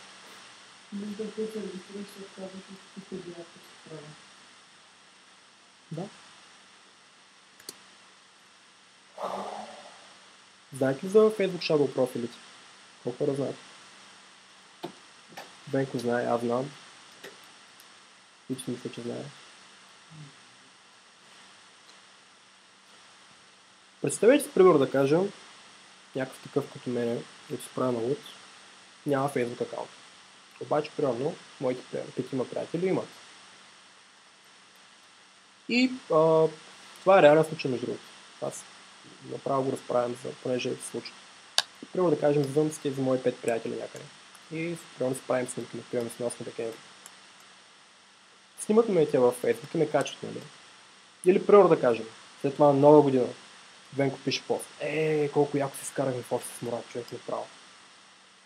Facebook анализира всеки един пост.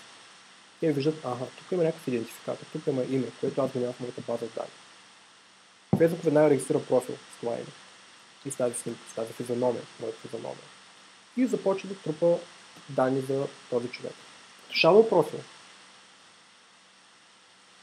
И примерно да кажем, ако моите приятели продължават да трупат данни за, за мен, или аз се регистрирам на Facebook, аз веднага моят реален профил бива базиран на моя shadow профил, т.е. данните от shadow профила ми се прекачат към реалният ми профил. Сега това не го вярвате, нали? Смисъл, понеже аз не го вярвам. в Смисъл. Какво ново видео? Тя статията от 20 октомври 2011 година. В момента какво? В момента сме 10 декември 2014. При над 3 години.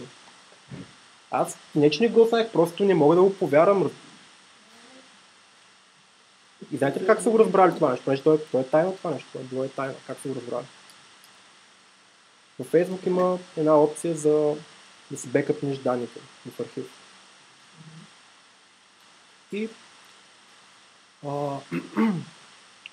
някакъв такъв любопитен човек, когато се разглеждал архива на своите бекъпнати данни, е забелязал, че в списъка с неговите приятели има хора, които реално не са, не са негови приятели.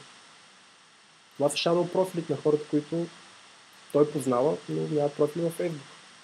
И така са го разкрили. Разбирате? Много забавно.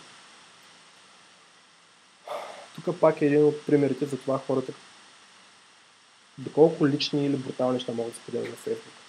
Тук е някакъв баща е написал. Ето това се случва, когато дъщеря ми удари мен. И човек пуска снимката директно в Facebook. Нали? Не го интересува.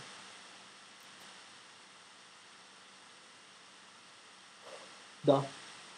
Facebook имат специален, специална система за мониторинг на чатовете. Те анализират всички неща, които пишете. Знаете Google Translate. Google Translate пише някои изречения, примерно да кажем на английски, що горе го превежда на български. И дори става все по-добър. Моля?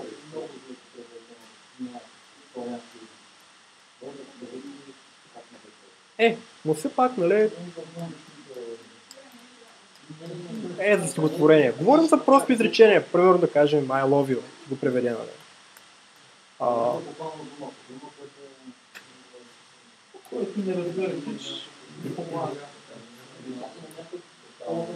Идеята е Фейсбук анализира тези неща. И освен, че ги анализира, знаете ли, че когато пишете ви, да кажем, даден пост в Facebook и в Google, в Google също, пишете поста, все още не сте дали Enter да го изправите. Примерно да кажем, пишете, пишете, пишете и в един момент мале, какво пиша аз човек, са тия глупости го трети веднага. Мале, без малко ще да напиша някакъв супер голем пост, всички правите неща, да ми видят да, ми се смеят. Фейсбук вече го е запаметил това съобщение. Макар и да сте го изстрели преди пост, това е запаметено. Запаметено е, не се изстрела. Така. Фейсбук също имат интерес да се направят и те някаква тяхна банка. Сега не съм следял доколко нещата се развиват, но знаете каква е идея? Идеята е да купират Google. Една платформа, където се прави всичко. Както Google, нали? Един имейл, един сторич на файлове с Google Drive, с Google Maps, забавления в YouTube, блогове. Всичко правиш в Google. Дори политиката на нашата фирма е, ние работим всичко се сторваме в Google, от имейли до файлове до всичко. Facebook се опитва да направи също. Така. Тук е планът на Марк Зукърберг да докара всеки да си направи Facebook аккаунт. И цяло нещата са ясни. They want own your eyeballs. Те искат да притежат вашите очни ябълки.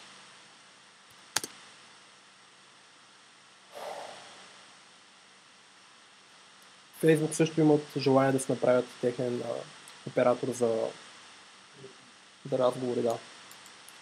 Първо се правят мобилна апликация, след това телефон, телефон оператори, всичко отива директно при тях. Понеже, знаете, мобилните оператори имат много големи технически правомощия, т.е. анализират, нали, записват гласове и така нататък. Както знаете, има някой да не знае, че вече мобилните юзери са много повече от десктоп. Затова се включва към телефони вече. И Facebook, понеже предвиждат тези неща, искат да се направят тяхна мобилна апликация, техен телефон, техен телекомуникационен оператор. Дали се да върви. Така, дайте почнем. Време за почивка.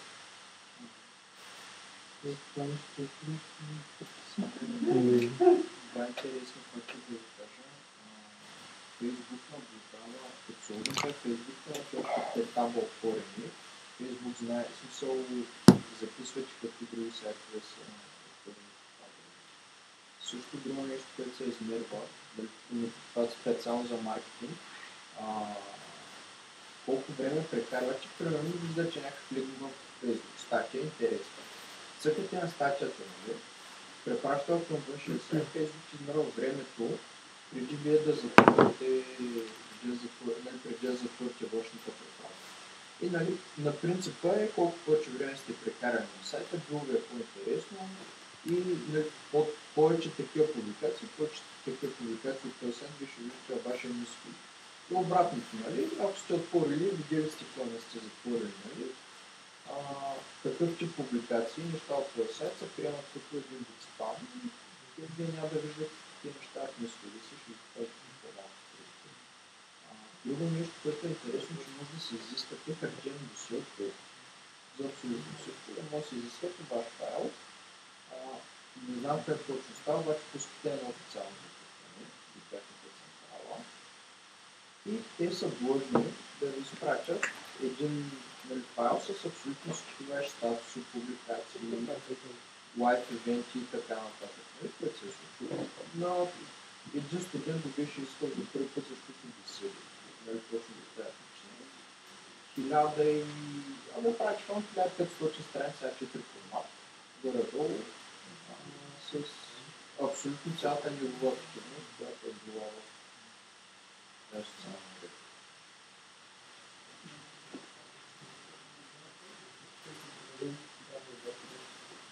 Mm-hmm.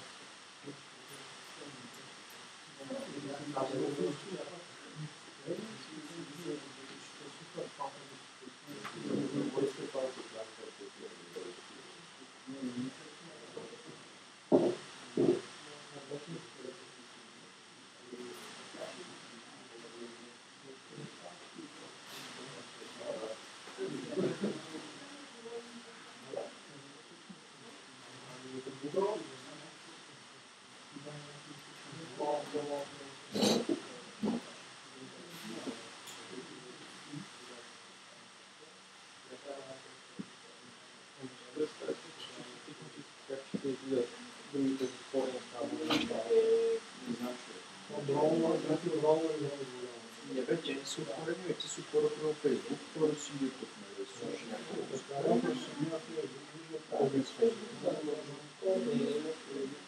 Не знам как стане за Зависи вече браузъра какво позволява, дали има фотографии, дали има някакво разширение, може да каже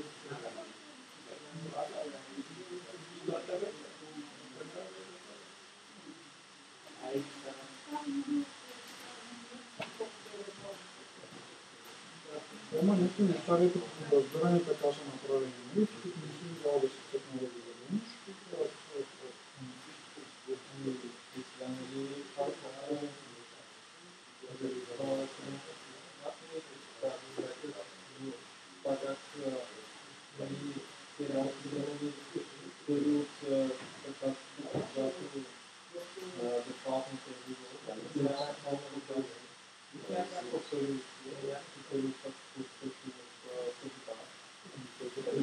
повечето браузъри, повече от това да гледат, примерно, които са включени като разбиране, това е това на ако напишеш нещо директно да кажеш с нея, ради работа, няма абсолютно други начини, по които да назовеш и така в си. Това е основно. Мисля, че това не е.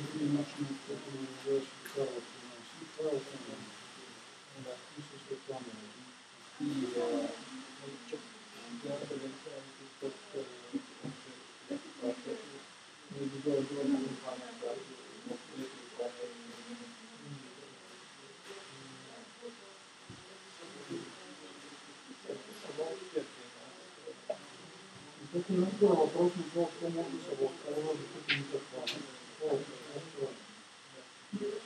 просто видите каза неделя, по принцип, там като лексика.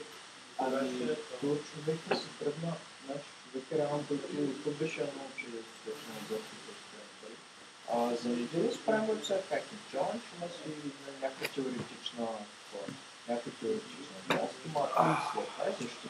Нали, то между 3 и 6 човека, обаче мисля, че Там е нали, като лексика, където има пак да се случи. А знам колко не сте. Еми, още 4 слайда. Знае хардкор, хардкор, които са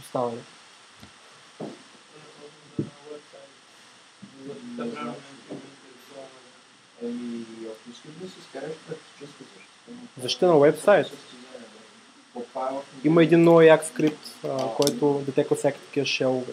Смисъл, а, Под шелове разбирам такива JavaScript експлойти, PHP експлойти. Може да ти го дам ако искаш. Много е як, аз сега скоро го открих. Ще разберем сега да направим един сайт на известно време от тази видео, примерно на WordPress. Аз го пръчам там аз през лоупота, преди само елементарни неща.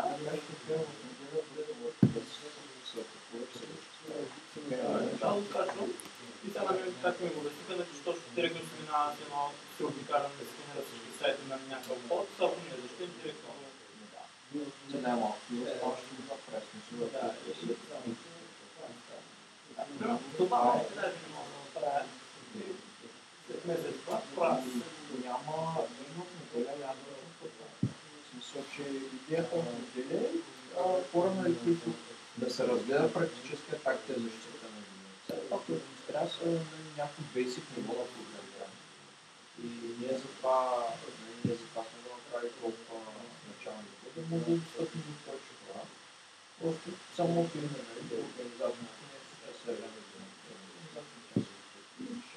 съвсем както е начало. А вече накрая на накрая след ще може да плача което е мотивиращо ще скажа. И След много специално се избира на пус, след нова година, преди че има интересна кампионата вече 470 А сериозно замисляме за това да направим един курс, който е посветен точно защита на дай да продължаваме, ако искате направо.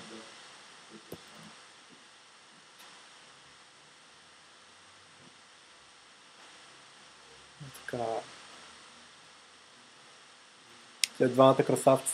Знаете ли? Създателите на Google. Значи аз съм наскоро взел малко такива повече статистики за това каква е инфраструктурата на Google като цяло, нали, с колко неща разполагат. И... Значи през 2009 година, значи при колко, при 3 години, 4, печалбите на Facebook са били 23 милиарда. Тоест това е оборота, а печалбата е 6 милиарда. С всички активи 43 милиарда. Така, с 600 доктора, нали, нау- научна степен доктор и при- приблизително 500 хиляди сървъри. Google имат достатъчно RAM да... Мисля, че така бях чел да RAM. Да се подкарат целият интернет в техния RAM. Това е размера на Google. Така, какво предлага Google? Търсене в интернет, превод, блогове, социалната мрежа Google, Google+, групи от новини. Нали? Google не признават вестници, те се правят техни, техни новини направо. Gmail, почта, търсене по изображения, книгите вече, Google Books, YouTube, гледане на филми, Google Music, вече и в България от няколко месеца. Google Finance, това все още се развива много добре, но иска да съборят PayPal. Google Voice. И естествено браузъра на Google и Google Chromebook. Google са навсякъде.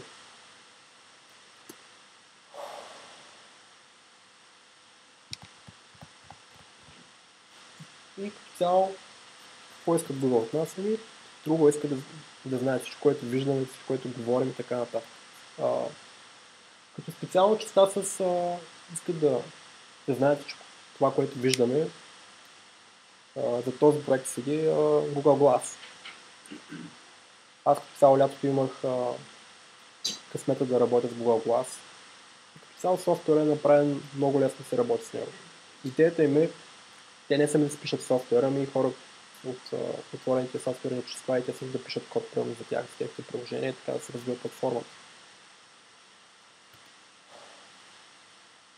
Android. Android е много ясно операционната система на Google. Всички телефони Android, дори моя, е Android. Той какво прави? Репорта всичко на Google. Всички таблети, всички устройства. Въпрос. Да.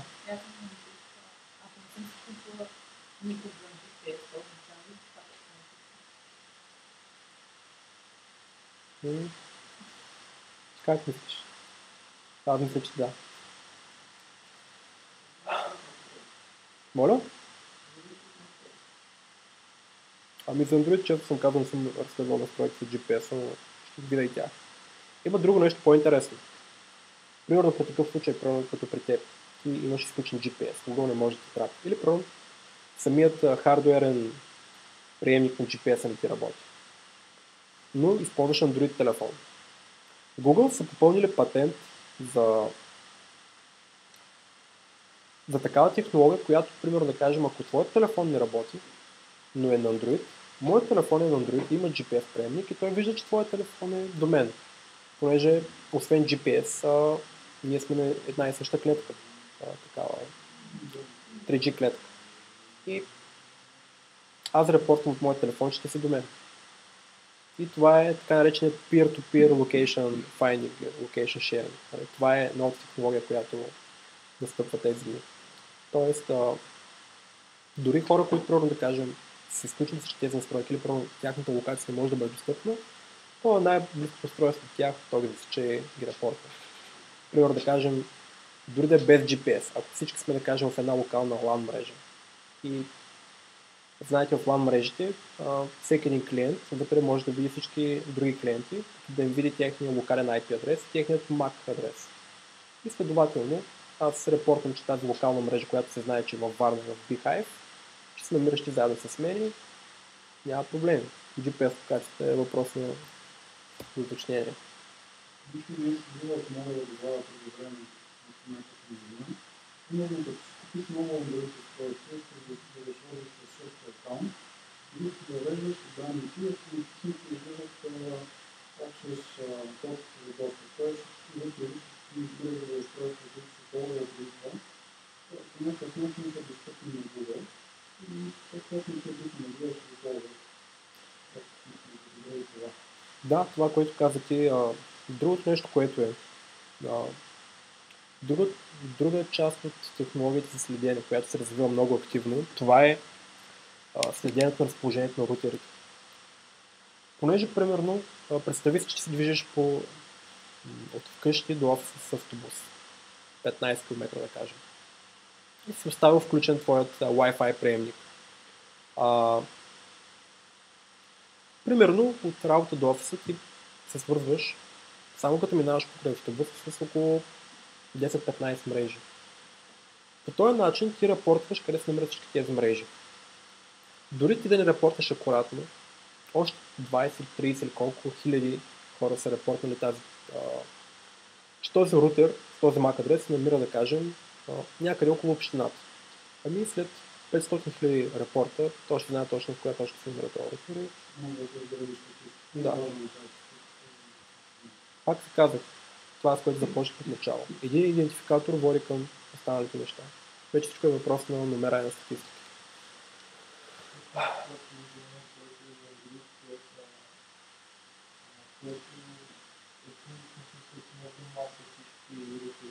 Да, да, да, има такива приложения.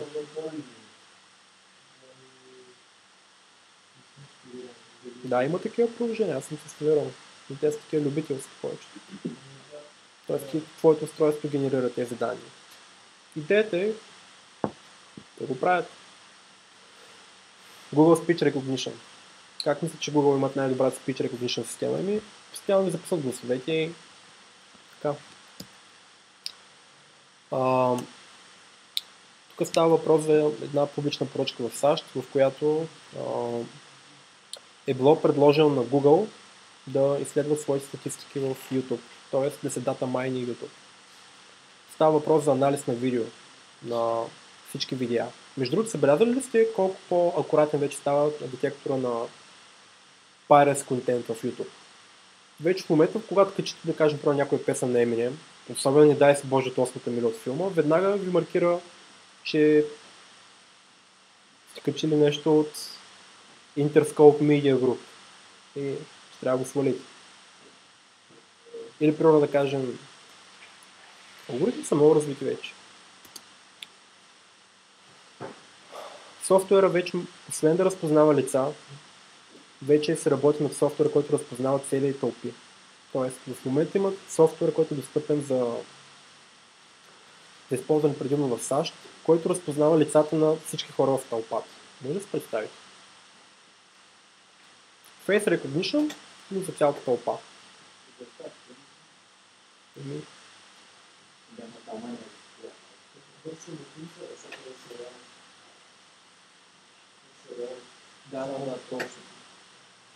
Другото нещо, което е интересно. Walking or Posture Recognition. Анализ на походка, анализ на стойка. По този начин се анализира колко хора ходят, колко от тях, да кажем, ако някой е леко предгървен или ако някой бърза, нали, това ми казва, че примерно да кажем, че си не е здрав. Моля? Биометрично, да. Биометрикс, точно така. Супер. Една от малките тайнички на Google.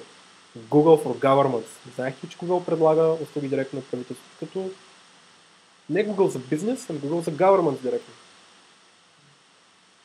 Това е старата страничка на Google for Governments. Стара, защото вече я няма. Хората са написали директно.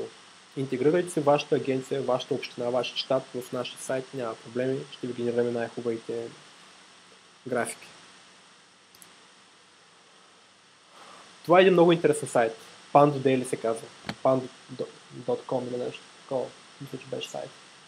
И тези хора са а, видели, че Google има такава такава секция за government и са написали пост за това нещо.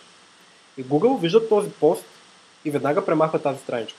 И в този пост, който в момента ви показвам, автора на този блог се пресмил на Google, нали, че чели техния блог и скрили веднага страничката. А,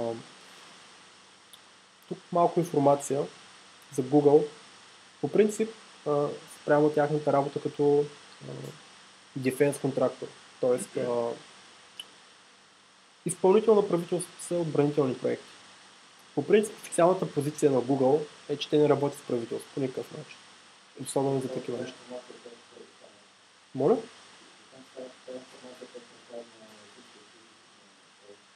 Ами,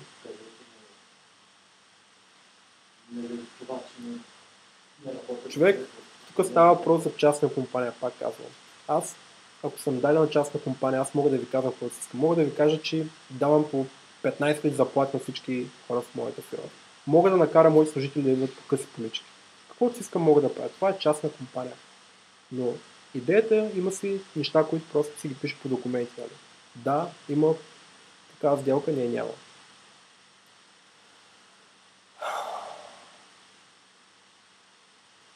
И точно тук става в тази статия, нали? как Google продължава да менижира този, този свой много странен имидж. По-нататък ще стигнем до една статия в Джулиан Асанч, където той разказва за това как, с Ер, как ще се е срещнал с Ерик Шмидт и си говорили точно на тази тематика, нали, че Google трябва да спрят да продават данни на правителството.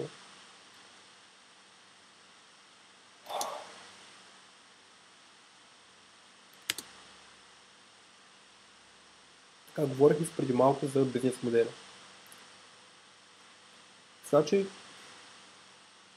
реалният бизнес модел на Google не е да търси да, да бъде най-добрата търсачка. Или, примерно, да предлага много хубави видеа за гледане. Или, примерно, да кажем, тя да знам, да предлага най-добрите books, blogs, каквото е там. Google се занимават и те като Facebook с изграждане на модели на поведение на хора и продажба на тези данни. Едно е сигурно. Те ги продават на частни компании, за правителство и пречат. И като цяло, малко тук да ви препрати по-назад. За Как, как е стартирал бизнес на Google. Значи Google кога беше? Пред 99 или там някъде. 7-9 нещо такова беше. Начало започва като search на база на граф алгоритъма, който дава page ranking. Нали така? След това те виждат, че а, бизнес модел само с търсене, предлагане, търсене не работи и започват да променят си бизнес модела някъде от 2002-2004. И тогава вече започва истинската експанзия на Google като компания. От Google Search отиват в бизнес, government и сега последният проект на Google е да навляза вече в училищата. Има проекти, които Google се да спечелят да, от сорта на всяко дете, нали, преди няколко години имаше нещо подобно, всяко дете в Африка трябва да има лаптоп, и сега е, всяко дете трябва да има Chromebook нали, от Google, с апликацията на Google и така нататък. Има едно нещо в Google, което много ме дразни мене. Това е а, това е по-скоро може би трябва да дам дефиницията за коварство. Значи аз мятам, че когато примерно представяш нещо, което примерно да кажем е нещо съвсем друго, или дори зло, с някакви такива приветливи цветове, нали? Понеже Google точно така правят. Те всички техните неща ги представят с някакви такива детски цветове. Те акцентират на това нещо. Нали, всичко е игра, всичко е забавление. Нали, цъкни тук, напиши един пост, напиши този имейл. Няма проблем, нали. Живота е удоволствие.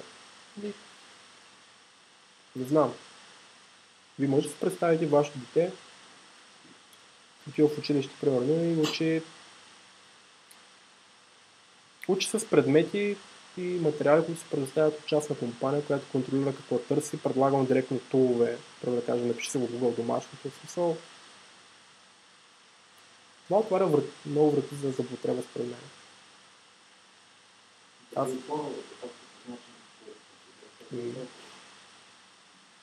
Не знам. Аз лично смятам, че навлизането в личните пространства на децата и да може някаква частна компания да може да директно така брутално се намесва образованието, смятам, че е правилно. Това е мое лично мнение. Не е защо на кой да се споделя.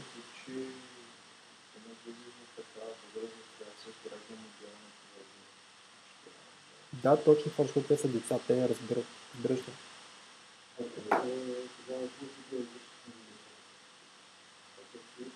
Аз мога да попитам цяло къде са моралните ценности, но това е друга лекция вече. Така ли? В момента а, сайтът за Google for Government изглежда долу-горе подобно нещо на Google Apps for Education. Те променят този дизайн, след като този сайт pound.com прави за тях този репорт. Нали, премахва се тази картинка, която очевадно ти показва щат по щат, че ти показва анализ нали, на тук има републиканци, тук има демократи. Нали. Google Glass. Не стига на Google, че знаят вече всичко за нас, какво търсим в интернет, какво слушаме, какво гледаме. Те искат да, да виждат това, което ние виждаме през нашите собствени очи. И да го анализират, да го продават, да справят каквото си искат с него. И това става с Google Glass. Значи, в момента мисля, че Google Glass е все още не се предлага официално, нали? Да, но, да, но цената все още е висока, не е навлязла масово. Нещо авангардно е. Нещо като да имаш телефон през 89 или 90 година. Да.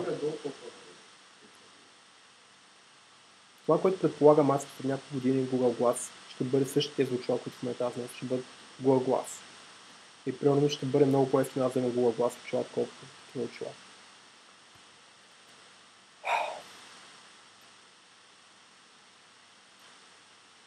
Отново се говори малко за патенти. Google са открили патент, който разпознава лица директно във видеа. Така наречен Advanced Face Recognition, който, за който говорихме. Плюс uh, Crowd Recognition вече.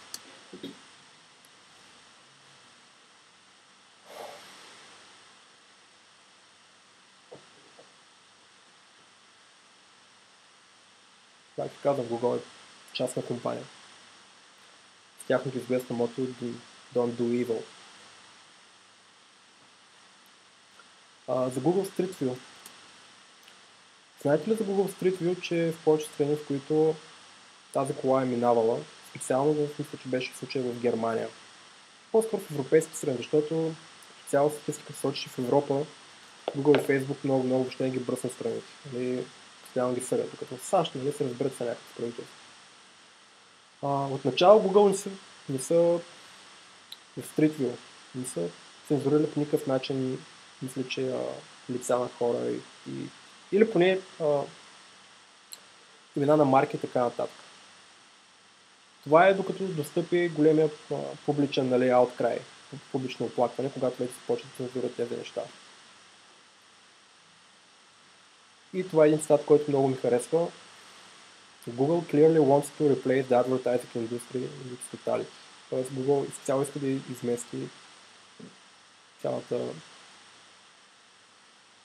цялата рекламна индустрия. Това ако не е монопол, не знам какво е друго.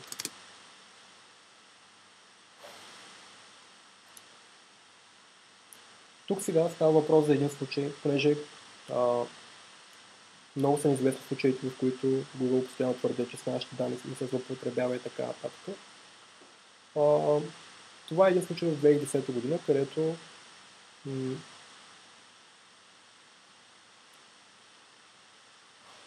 работник на Google използва данните, до които има достъп за своя лични интереси.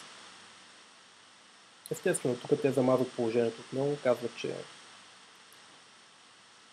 всичко е било в реда на нещата.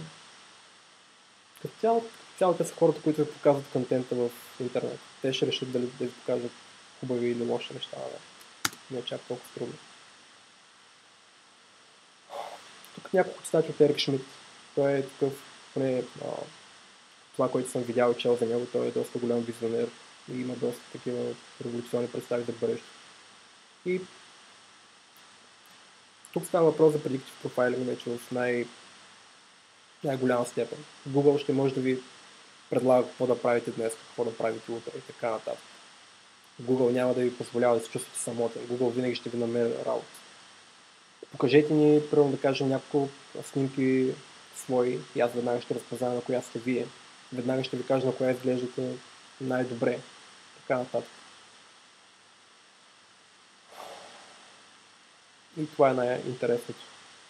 Ако аз следвам вашето съобщение достатъчно дълго, ще мога да предскажа къде вие ще отидете.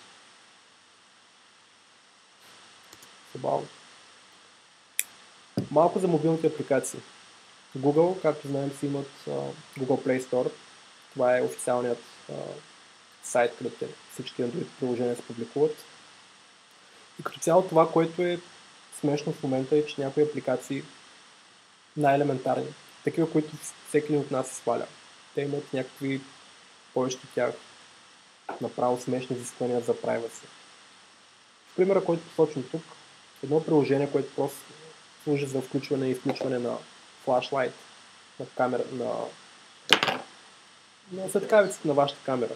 Тоест достъп до камерата, до GPS локацията, до телефонната книга, до Network Communications. Окей, okay. то просто светло на светкавицата. За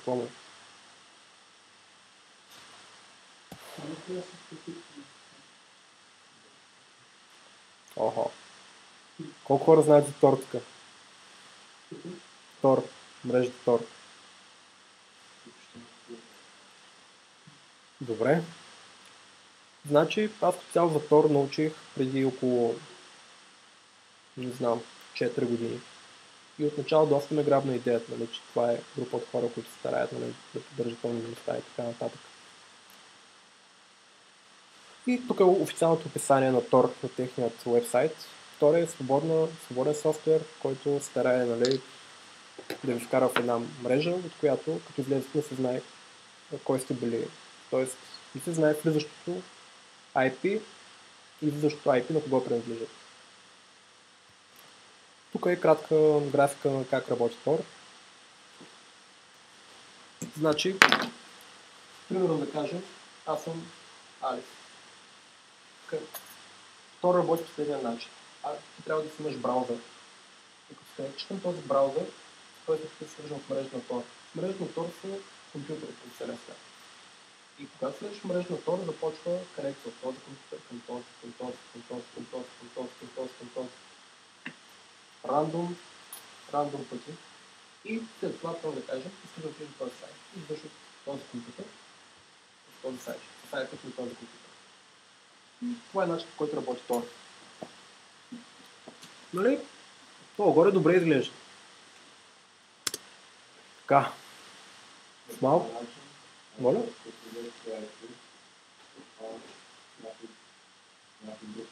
Еми да, да, да. Това е ако решиш да си хостваш а, да бъдеш, да, exit node. Понеже ти можеш да бъдеш само потребител, без от твоето IP за други хора. Аз примерно така правя все още. И съм се осмелил още да се пусна и аз. И допринасяш към обществото, например. Да.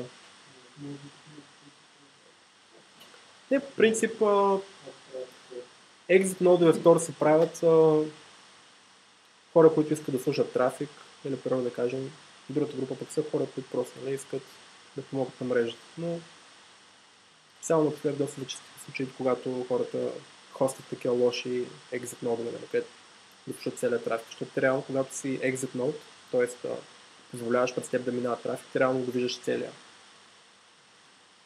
Нали, това допринася малко въпроса на доколко Тор е сигурен, нали? Малко информация за Тор реално. Значи, преди малко казахме, че Тор е свободен софтуер, разработван от доброволци и така нататък. Всъщност, Тор за първи път възниква през 1997 година чрез DARPA. Това е, нали, там, институцията на САЩ, които се разработват адванс технологии. И, моля? Не знам. Изгубени от намерение. Идеята е от начало, Торс е, е била мрежа разработвана за подводници. Или за кораби, нали, съм сигурен за кое двете беше. С цел да не може да се проследяват съобщения, а, съобщенията от кой кораб до, до кой е пристигнал. Също друга идея е била това да бъде мрежа само за intelligence агенти, агенти т.е. за хората разузнаването. Т.е. примерно да кажем, ти си в Русия, пускаш някакво съобщение, не се знае кой го е пуснал, пристига до Вашингтон. Нали? За комуникация между агенти, по-сигурна комуникация. По една или друга причина, нали, те се отказват от този проект и той става свободен проект. Като все още до, до 2013 година продължава правителството на САЩ да инвестира мисля, че последно е платило последната година 500 000 долара в този проект. Което, нали, не знам, в смисъл, някакви тук лучи се появяват. И ще си мисля някакви странни неща. Добре. Това е идеята на Тор, всъщност.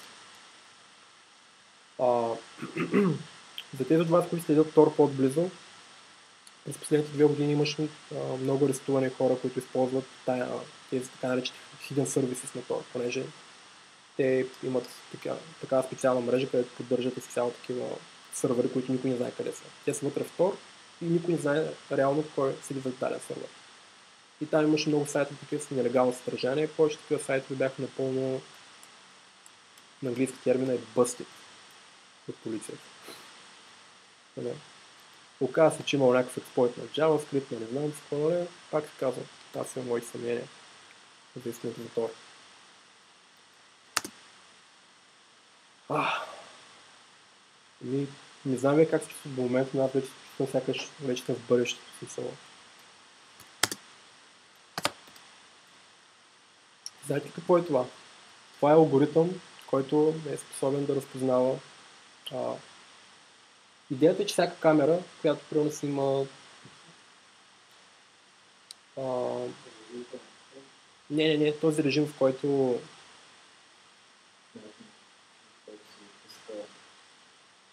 претоварят снежинките. Идея, че всяка камера си има да, цифров шум. Всяка камера, когато те заснеме, тя си има уникален цифров шум. На база на това аз мога да направя, а, да екстрактна информация точно от коя камера ти си бил сниман и така нататък. Това по принцип е само за камерите. Там има супер много параметри и метадата, която всяка камера си е уникална. Отделно, всяко, всеки един имидж, той си има, освен данните за камерата, и метадата за самия имидж. Тоест, примерно да кажем, аз понеже съм занимавал известно време с това, нарича се EXIF data. Примерно да кажем, в даден случай може да се види с коя програма е била обработвана дадена снимка. Или примерно да кажем с кой телефон е снимана. Или примерно а, кога е била запаметена и кога е била да, модифицирана. Имах един много забавен случай преди месец беше. А, говорих с един приятел, който, с който сме се виждали доста време той, той, е, той също е IT, такъв човек. И му бях изпратил една моя снимка, нали? Той каза, аха, ха-ха, хубаво, вика. Galaxy Note не става за нищо. Той е видял екс датата на снимката ми разбрал, че аз съм Galaxy Note. И вика, Да. Идеята е а, също, ако се включите, нали, при някои снимки има и GPS локация, къде е била да снята снимката. Да. Директно се записва всяка снимка, еди кой е GPS, еди кой е GPS.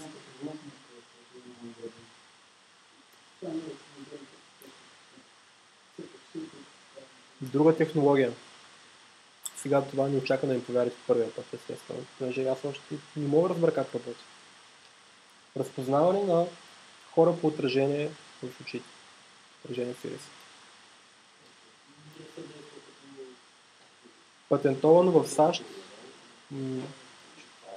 не помня от 2004-2006 година.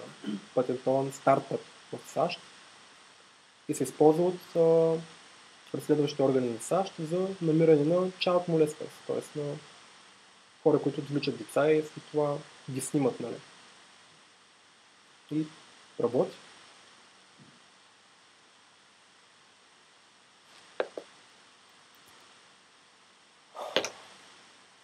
Преди малко ви говорих за напредващите спорове. Значи между Google и Wikileaks, нали, както казаха, Ерик Шмидт се беше срещнал с Джулиан Асанж, който е заключен в еквадорското правителство, да, еквадорското представителство в Лондон от доста време. Става въпрос, а, интересното е, че и двамата са издали книги нали, за своята версия, за нещата, какво са си говорили. Джулиан Асанж казва, че а, на него сме предложили от Google нали, да се присъедини към тях и ми помага. Ерик Шмидт казва, че Джулиан Асанч е параноичен и така нататък. Това е една новина, която днеска я видях в интернет. Дебата за изкуственият интелект. Google силно разчитат, че изкуственият интелект е бъдещето и дори демонстрират своята първа кола, която сама, се движи сама. Да, да, това е част от роботиката, в смисъл.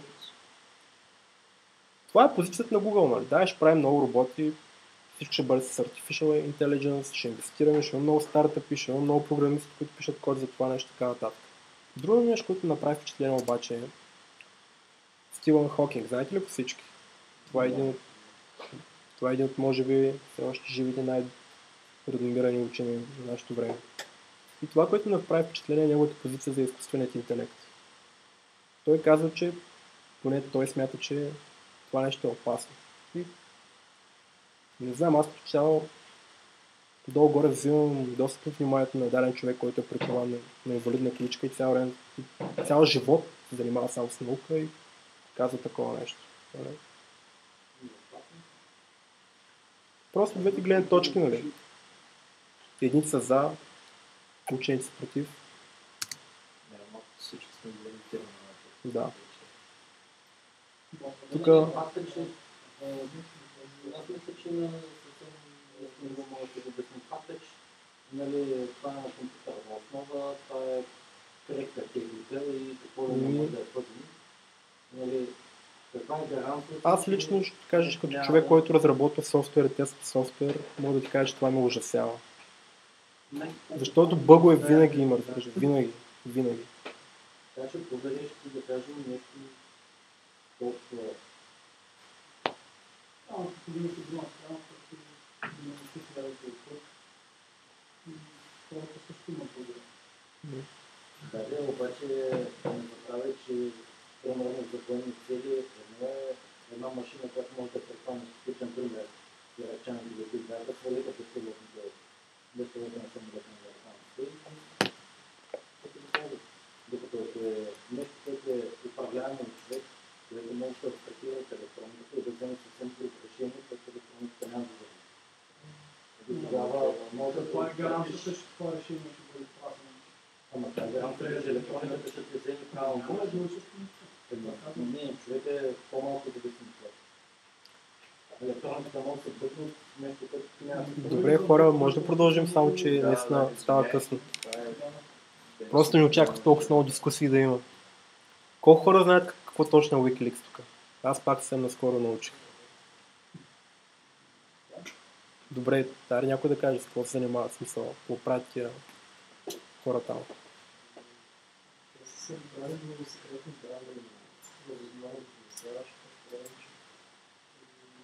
Не, не, по-скоро питам като организация, каква е тяхната цел. Еми да, нещо такова. Значи. Джулиан Асанч е един много луд австралиец, който решава да направи една организация наречена Wikileaks, чиято идея е всеки, тя е отначало насочена към журналисти. Идеята е това е да бъде една платформа, която всеки да може анонимно да достъпи и да сподели информация в нея. Защото повечето пъти знаете информация, която се споделя, нали? човека трябва да се търси последствия от нея, защото е споделял. И а, това е момента, когато Джулиан Асанч споделя а, не знам като размер колко бяха 200 хиляди или колко секретни документи на американското правителство. Веднага в Twitter си Department of Defense не реагират, ние вземем тези неща много сериозно. Естествено, пада голям голяма медийна вълна, която между другото това кога беше смисъл 2010 да. Аз 2010 честно да ви кажа, в нашите медии не мисля, че имаш чак толкова голям отзвук за това нещо. Продължаваме нататък. Истинският човек, реално, който е дал всички тези документи на Джулиан Асанч, това е така нареченият Челси Манинг или преди го пишеха Брадли Манинг. Кой знае тук кой е Брадли Манинг или Челси че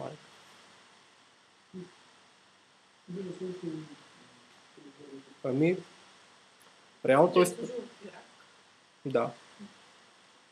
Значи, историята гръмва а, някъде пак от 2010. Смисъл с датите не съм много добре. Идеята е, Брадли Майк е бил а, аналист в а, Ирак. И се занимава с това да приема всякакви документи директно от бойното поле да ги анализира и да ги качва в компютър. Той е бил, може би, най-добрият IT гай там. Понеже повечето войници нали, са някакви такива мускулисти, сам стреля по цял ден и не го интересува. Проблема е, че в даден момент той започва съзнанието му да чтрака нали, всички тези неща, които вижда. Нали. Той се казва, това е прекалено ужасно. И колко хора от вас а, знаят това видео? А, Collateral Murder Video. Това е едно видео, в което а, Джулиан, Челси Манинг подава на Джулиан Асанч, който уж анонимно тогава пуска видеото на целия свят през Wikileaks. И именно за това Джулиан Асанч става толкова известен, понеже нали, пуска тези шокиращи данни. Искате да гледам видеото? То е малко брутално, не?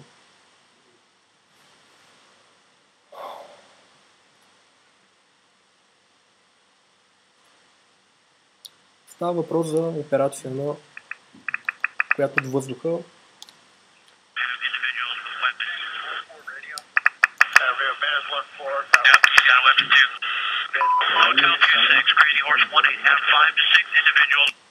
Да.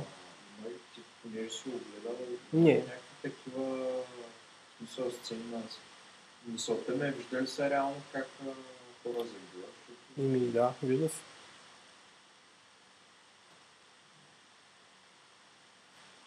Така, е, ако, ако искате, ще го спрем, това, както кажете. Не съм запознат много с честно Ми, Нека, Аз ще нека, раз- който иска, нека който Да. иска да. го изгледа, все пак да ти пише на лично съобщение. аз ще ви разкажа за какво става въпрос, защото Някаква идеята форма, защото да го изгледате- Нали, чисто от страна като организация, дали чисто Колко- сме- Не сме там, че Тук опираме до един интересен момент нали, вече. Какво може да се... Докъде стига свободата на словото? нали? Аз ще ви разкажа за какво става въпрос за видеото. В видеото става въпрос, както виждате, от един хеликоптер, операция на в Ирак, където уж ще атакуват а, някакви иракчани с а, уж, въоръжени с AK-47 автомати. Впоследствие става ясно, че те реално убиват двама журналисти на Reuters, Reuters плюс две цивилни деца иракчани. И че също групата от там 6-7 човека, които убиват с... А, а, как им се викаш на тези там, дето стрелят ракетите? RPG, RPG, RPG. Реално, че няма никакво RPG. И думата collateral на, в превод на български означава второстепенен, случайен. Тоест, жертви. да. И това именно предизвика големият отзвук на Wikileaks. Затова Wikileaks става толкова известна компания, защото тя показва това видео. Реално, Джулиан Асанч той взима на готово цялата слава, която Брадли Манинг трябва да заслужи. Той понеже обича да така по публични изяви, нали, снима по вестници и така нататък.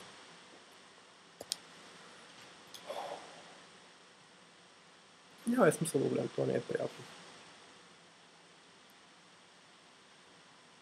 Тук има леко описание на видеото.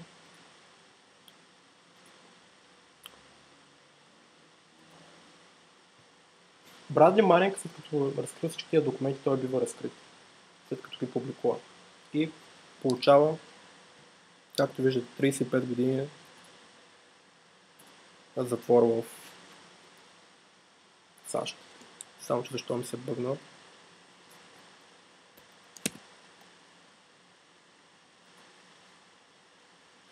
Реално какво е направил той? Той е публикува всички секретни документи, които се вижда реално истинската страна на войната в Ирак. Как има невинни жертви и така нататък. От гледна точка на правителството на САЩ това е нали, голям риск на националната сигурност, защото има класифицирана информация, където пише имена на невинни хора, които реално могат да загубят работа и така нататък.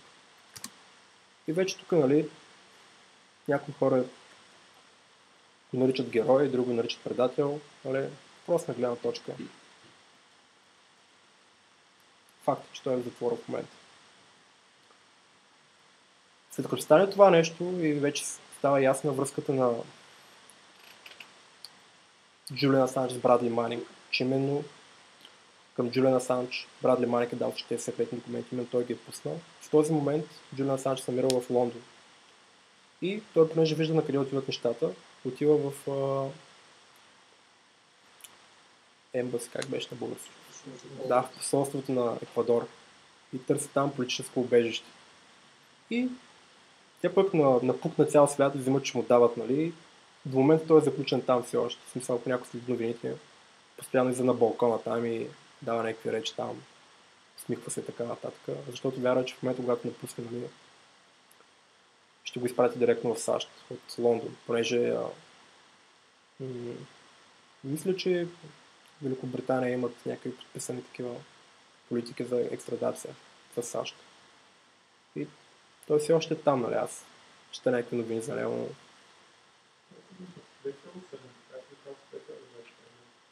Ами да, по принцип той е осъден за официалното публично обвинение към него. И че той е а, изнасилил две жени в Швеция. И затова полицията в Швеция го превиква там, нали, да се яви на разпит. Но, да ви казвам вече, това са някакви подробности. Тъй, тук има малко сравнение нали, на тези двама личности, на Марк Зукерберг и Джулиан Санч, което ме много е кеф. Нали. Единия казва, аз давам цялата лична информация на правителствата към вас, хората, без пари и аз съм нали, лошия. Пък Марк Зукерберг казва, нали, аз давам цялата ваша лична информация на правителството за пари и аз съм Man of the Year на Time.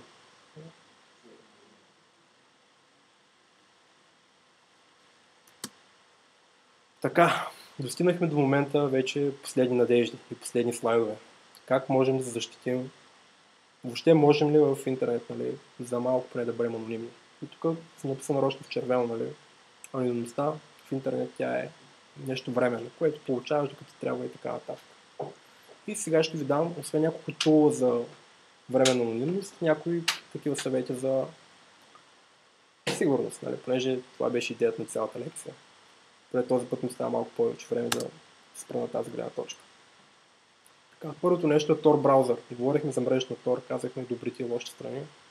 Аз все пак смятам, че ако примерно да кажем, някога искате примерно да кажем, сте банати от някой сайт, някой форум нали, по IP, Tor все още долу е добра опция, нали, да заобиколите това нещо. Вече ако примерно решите да влезете да логните в PayPal или в Facebook, да кажем през Tor, нали, както дискутирахме, конекцията минава през много компютри, вероятността някой да слуша на този порт, през който ви иска накрути, я има. Така че може би ви трябва да се прецените дали е по-добре да знаят къде ти се конектваш, да си през сигурна връзка, отколкото да минаваш през странните сервизи на Tor. За телефони, това, което си сетих. Има също Tor за телефони, нарича се Orbot. Значи, инсталирате приложението Orbot и можете реално всички приложения на вашия смартфон да бъдат, да бъдат пренасочени през мрежата на Tor. Facebook, снимки, всякакви неща директно през мрежата на Tor минава. Безплатно е. Пак забавяте с... Ми, да. То все пак минава през сумати компютър. Има го работи, аз съм го тествал. Друга голяма мода в момента, която е буквално модата в а, Cyber Security, PGP. Кой е чул за PGP тук? То е много модерно. Значи а, PGP е съкратение за Pretty Good Privacy. Това е, вид, това е начин за криптиране на данни, който всички неща, които чета, пък и съм тествал, явно е доста добре. Щом дори в дадени случаи специалисти са, не са опитвали да го декодират. Идеята при PGP в момента новата мода е а, изпращане и приемане на съобщения, особено на имейли чрез PGP. Става въпрос, когато, понеже знаете, от малко по-техническа гледна точка, възможно е аз да ви изпратя, мога да ви изпратя имейл, който да идва примерно от Bill Gates at Microsoft.com. Просто като приложа прост, прост спуфинг на имейла. Идеята при PGP е, че всеки човек, който а, изпраща дадено съобщение, всеки човек има публичен ключ. Малко ще ви обясня неща, че са малко по-технически. Всеки има публичен ключ, който е уникален за него и всеки вижда. Идеята е към всяко съобщение, което изпращате, има точно един а, частен ключ, private key, който го декодира. И идеята е, а, знайки моя публичен ключ, само един private ключ декодира съобщението, което е подписано с моя публичен ключ. Тоест, това е на принципа на а, представете си го като катинар. Реално публичният ключ ви е катинар. Всеки вижда катинар. На вратата 10 човека минават, катинар е един и същ, всеки го вижда. Но само този, който има private ключа, private key ключа, само той може да отключи катинар. И това е идеята на PGP, нали, в най-просто обяснение. Да.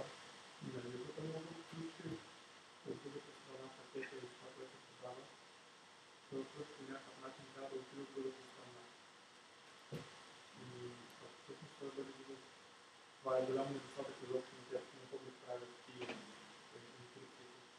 Как, как точно се решава това защото не съм запознат с тази технология. Ти кажа честно,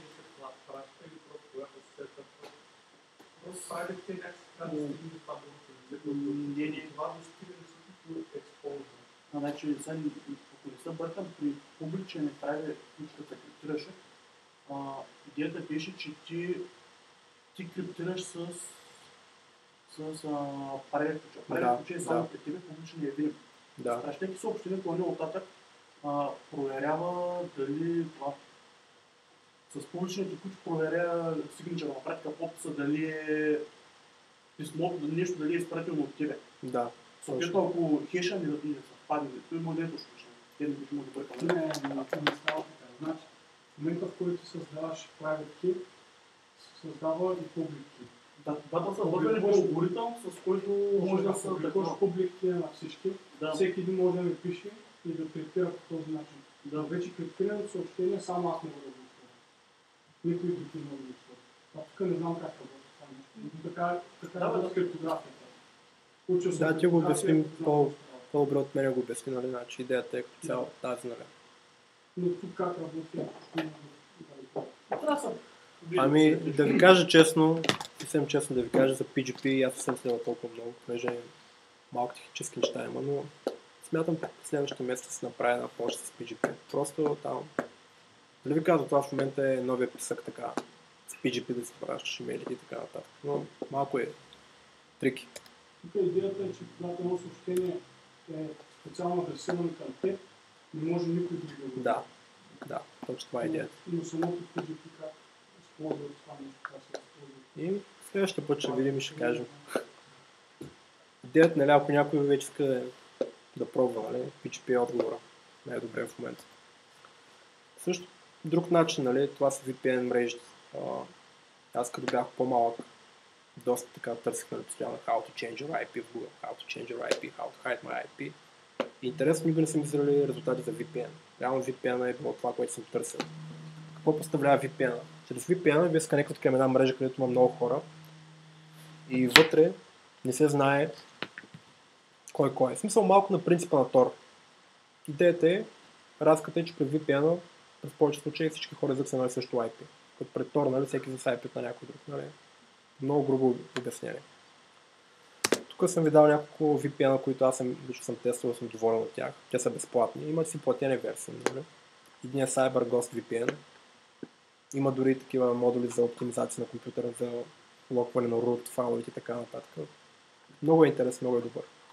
И VPN реактор напълно безплатен, само на месец един път ви праща един имейл разсъртите с паролата, за да потвърди, че си активен.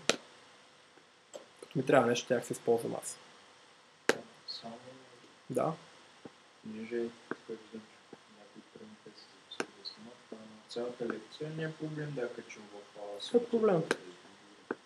Ако в смисъл ако имате някакво желание, нали, от източниците, няма За ваше улеснение, просто ще публикуваме цялата информация в събитието. KeyPass. KeyPass също е много добра програма, която служи за съхраняване на пароли. Тоест, вие пишете една мастер парола, с която влизате в файл, където са всички пароли. Лично на мен, понеже се налага да използвам много пароли, много ми е удобно. Има някакъв, някаква енкрипция, вече за по-параноични хора, нали, колко е сигурно и така нататък, не мога да дам някакви съвети и преценки. Нали. Но смятам, че няма проблеми. Давай. Значи има няколко алгоритъма, които по принцип не са разбити още. И това нещо е публично достояние. В момента, в който някой от алгоритмите бъде разбит, веднага се разбира и после не го използва това. Ами, по принцип целият интернет на всяка. Тук, примерно, на такива, които са хаш, хаш алгоритми. Да, да, да. MP5, SHA-1 и разликата, те не са разбити. Зависи от версията. Има някои, които в някои версии са разбити. Примерно 64 или 128 или 256. Друг един доста полезен плагин, който аз също използвам всякъде е HTTPS Everywhere. Значи това е един адон към Google Chrome, Firefox и така нататък, който форсва всички страници, които отваряте винаги да бъдат през HTTPS, а не през HTTP, така че всичко да бъде криптирано. Много малко, много полезно. Много съм доволен от него. Още един браузър адон, NoScript. Значи NoScript спира всякакви Java, JavaScript, иска да кажа. JavaScript, Flash и всякакви такива неща да ви се ползват по браузъра, освен ако вие не им дадете изключителното право да направят това. Е, вярно, че примерно да кажем, влезе във Facebook веднага всичко спира да работи, нали? И трябва поне 5 пъти да натиснете ало, ало, ало, за да се покажат всички тези неща. Това е защото просто Facebook пускат хиляда скрипта, които да ви следят всички данни на компютъра, на, на браузъра.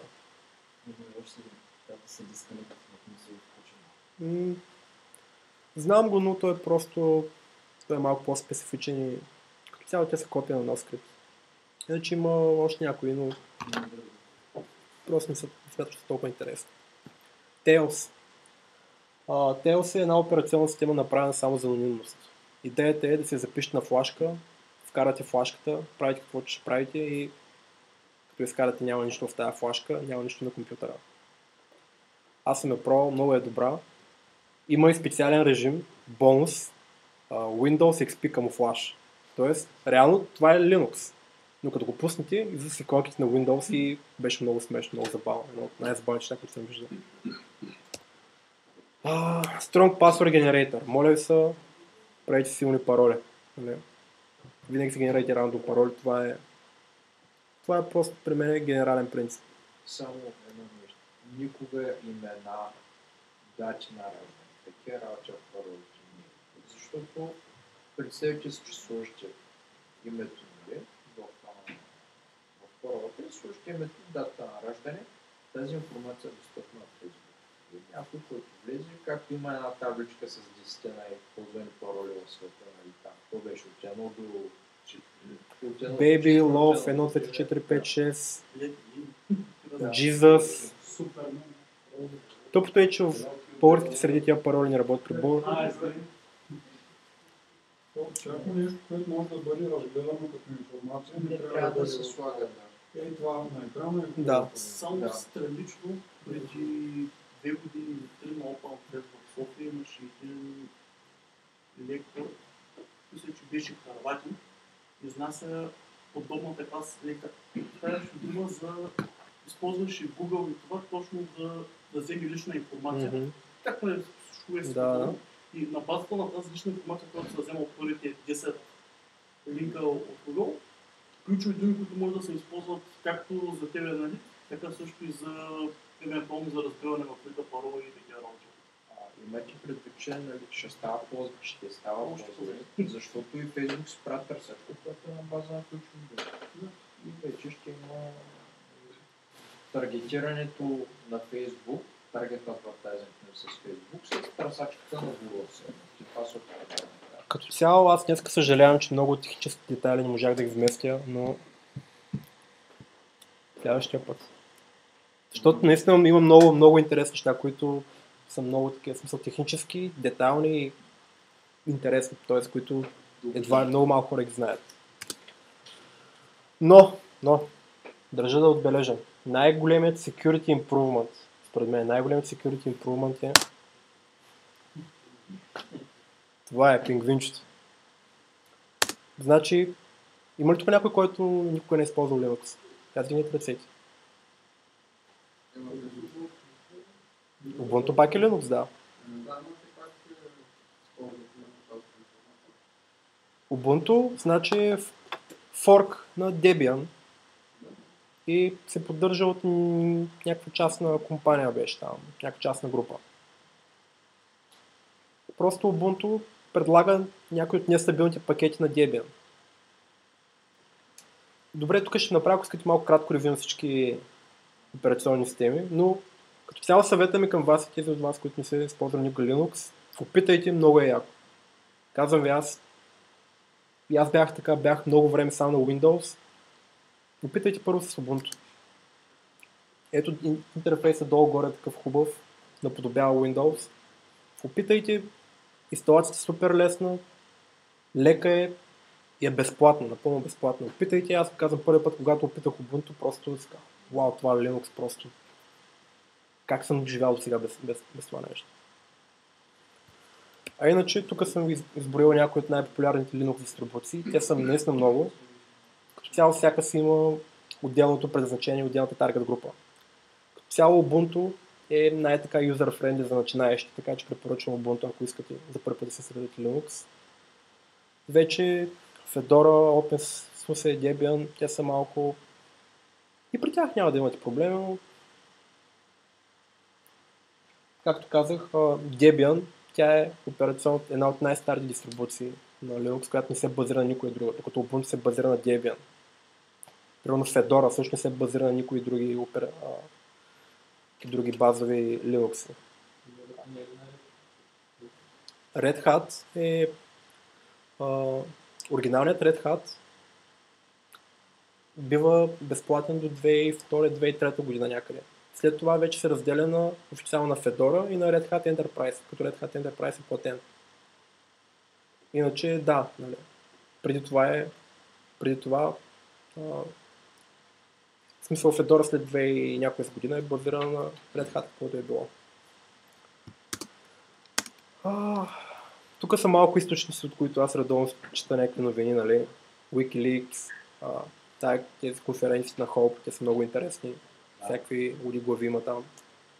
Wired магазин, мак, макар че в последно време се говори, че леко там статиите там малко са модифицирани, но като цяло доста интересни неща пускат в специално секцията Thread Level, под, под Security Thread Level, нали, там са интересни статии винаги, нали. А,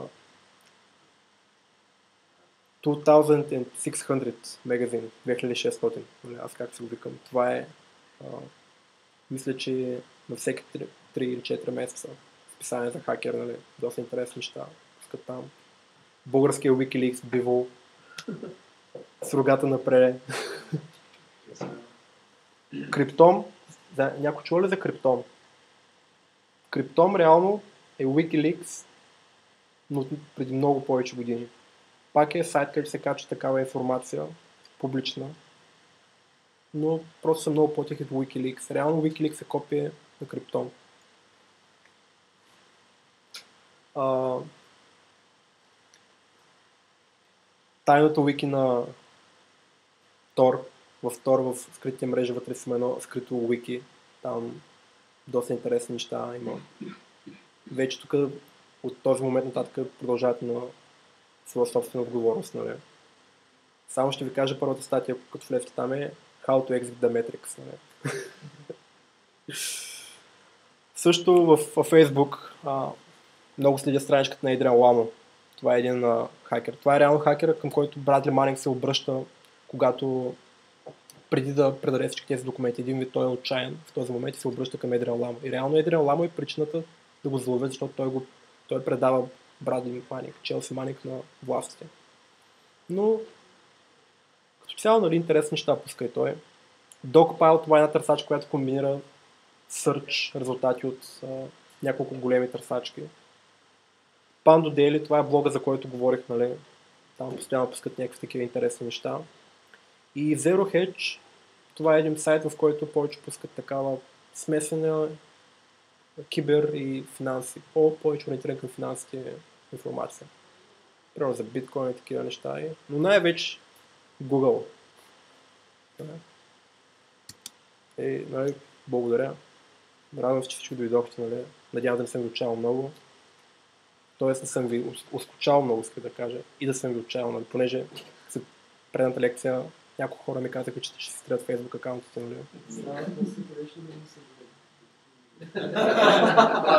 Правилно.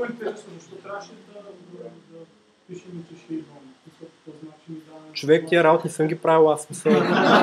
Извинете, смисъл така, аз трябва да се извиня. Маркетинг и комуникационна политика, е. Добре, първо полисмек за електора. Също така, благодаря на всички, че дойдохте, че останахте до 10 часа вечерта. В принцип, хората, които идват, значи стандартните ни лекции 2 часа, максимум спомена за гости. А, следващото нещо, следващото нещо, което правим в темата е всъщност последното ни събитие за годината, Website Ranking Challenge. А, до сега, нали, до сега си говорихме как стоят нещата преди нали, за личните ни проекти. Е малко се. Не, не е направено достъпно за хора, които си нямат абсолютно никакъв някакъв програмиране, но все пак на някакво начално ниво, ако имате, може да заповядате. Има кратка теоретична част, колкото 2 часа. Същата, само от събитие от 10 до 6 в неделя. Регистрирайте се онлайн, нашата Facebook страница или в сайта на Urban Work информация за него. Като като се регистрирате има награди осигурени от спонсори за първи сте отбора. Дори да сте сами, на място ще направим някаква групировка. Цялата програма е така за защита. Има си регламент, там оценяване, всичко който се сетите, на най-елементарната платформа WordPress, ако някой се притесня, че не е в библиотекия. Заповядайте, няма, нали, абсолютно безплатно. А, съвсем скоро очаквайте и нали, календара ни с акцентите за 2015, където вече малко продължаваме с студентите в следните месечни безплатни лекции, но вдигаме малко нивото, взели сме няколко международни които реализираме. Един от тях Startup Grind, а, това е на Google за предприемачи. А, един формат, като идеята е всеки месец да каним един някой от най- най-успелите имена от предприемачество в България, които да дадат интервю пред публика. Също така продължаваме традицията с Европейската седмица на програмирането, където също стигнем тази лекция.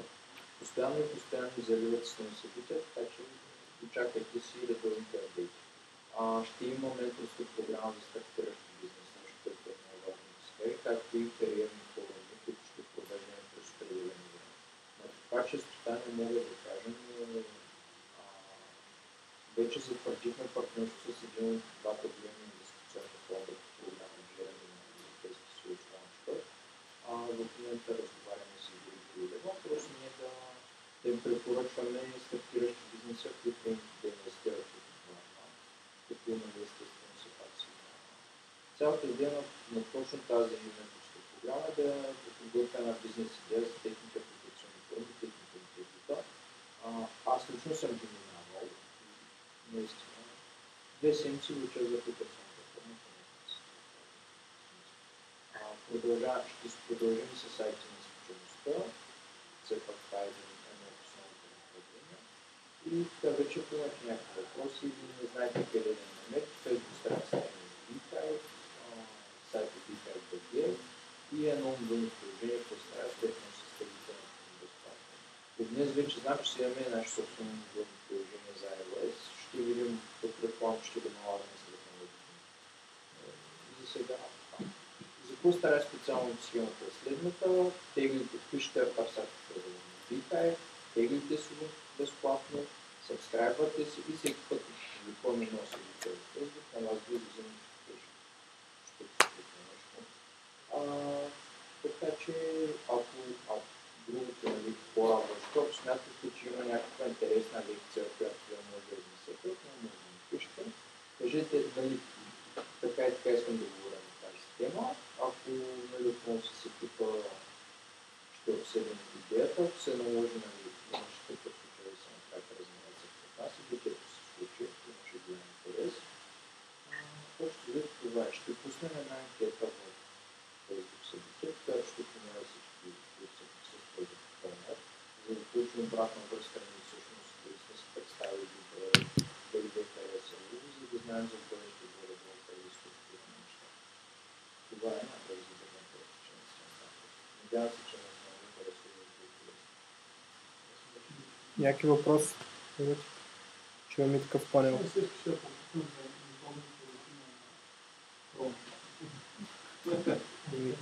Само Според мен е vamos chegar.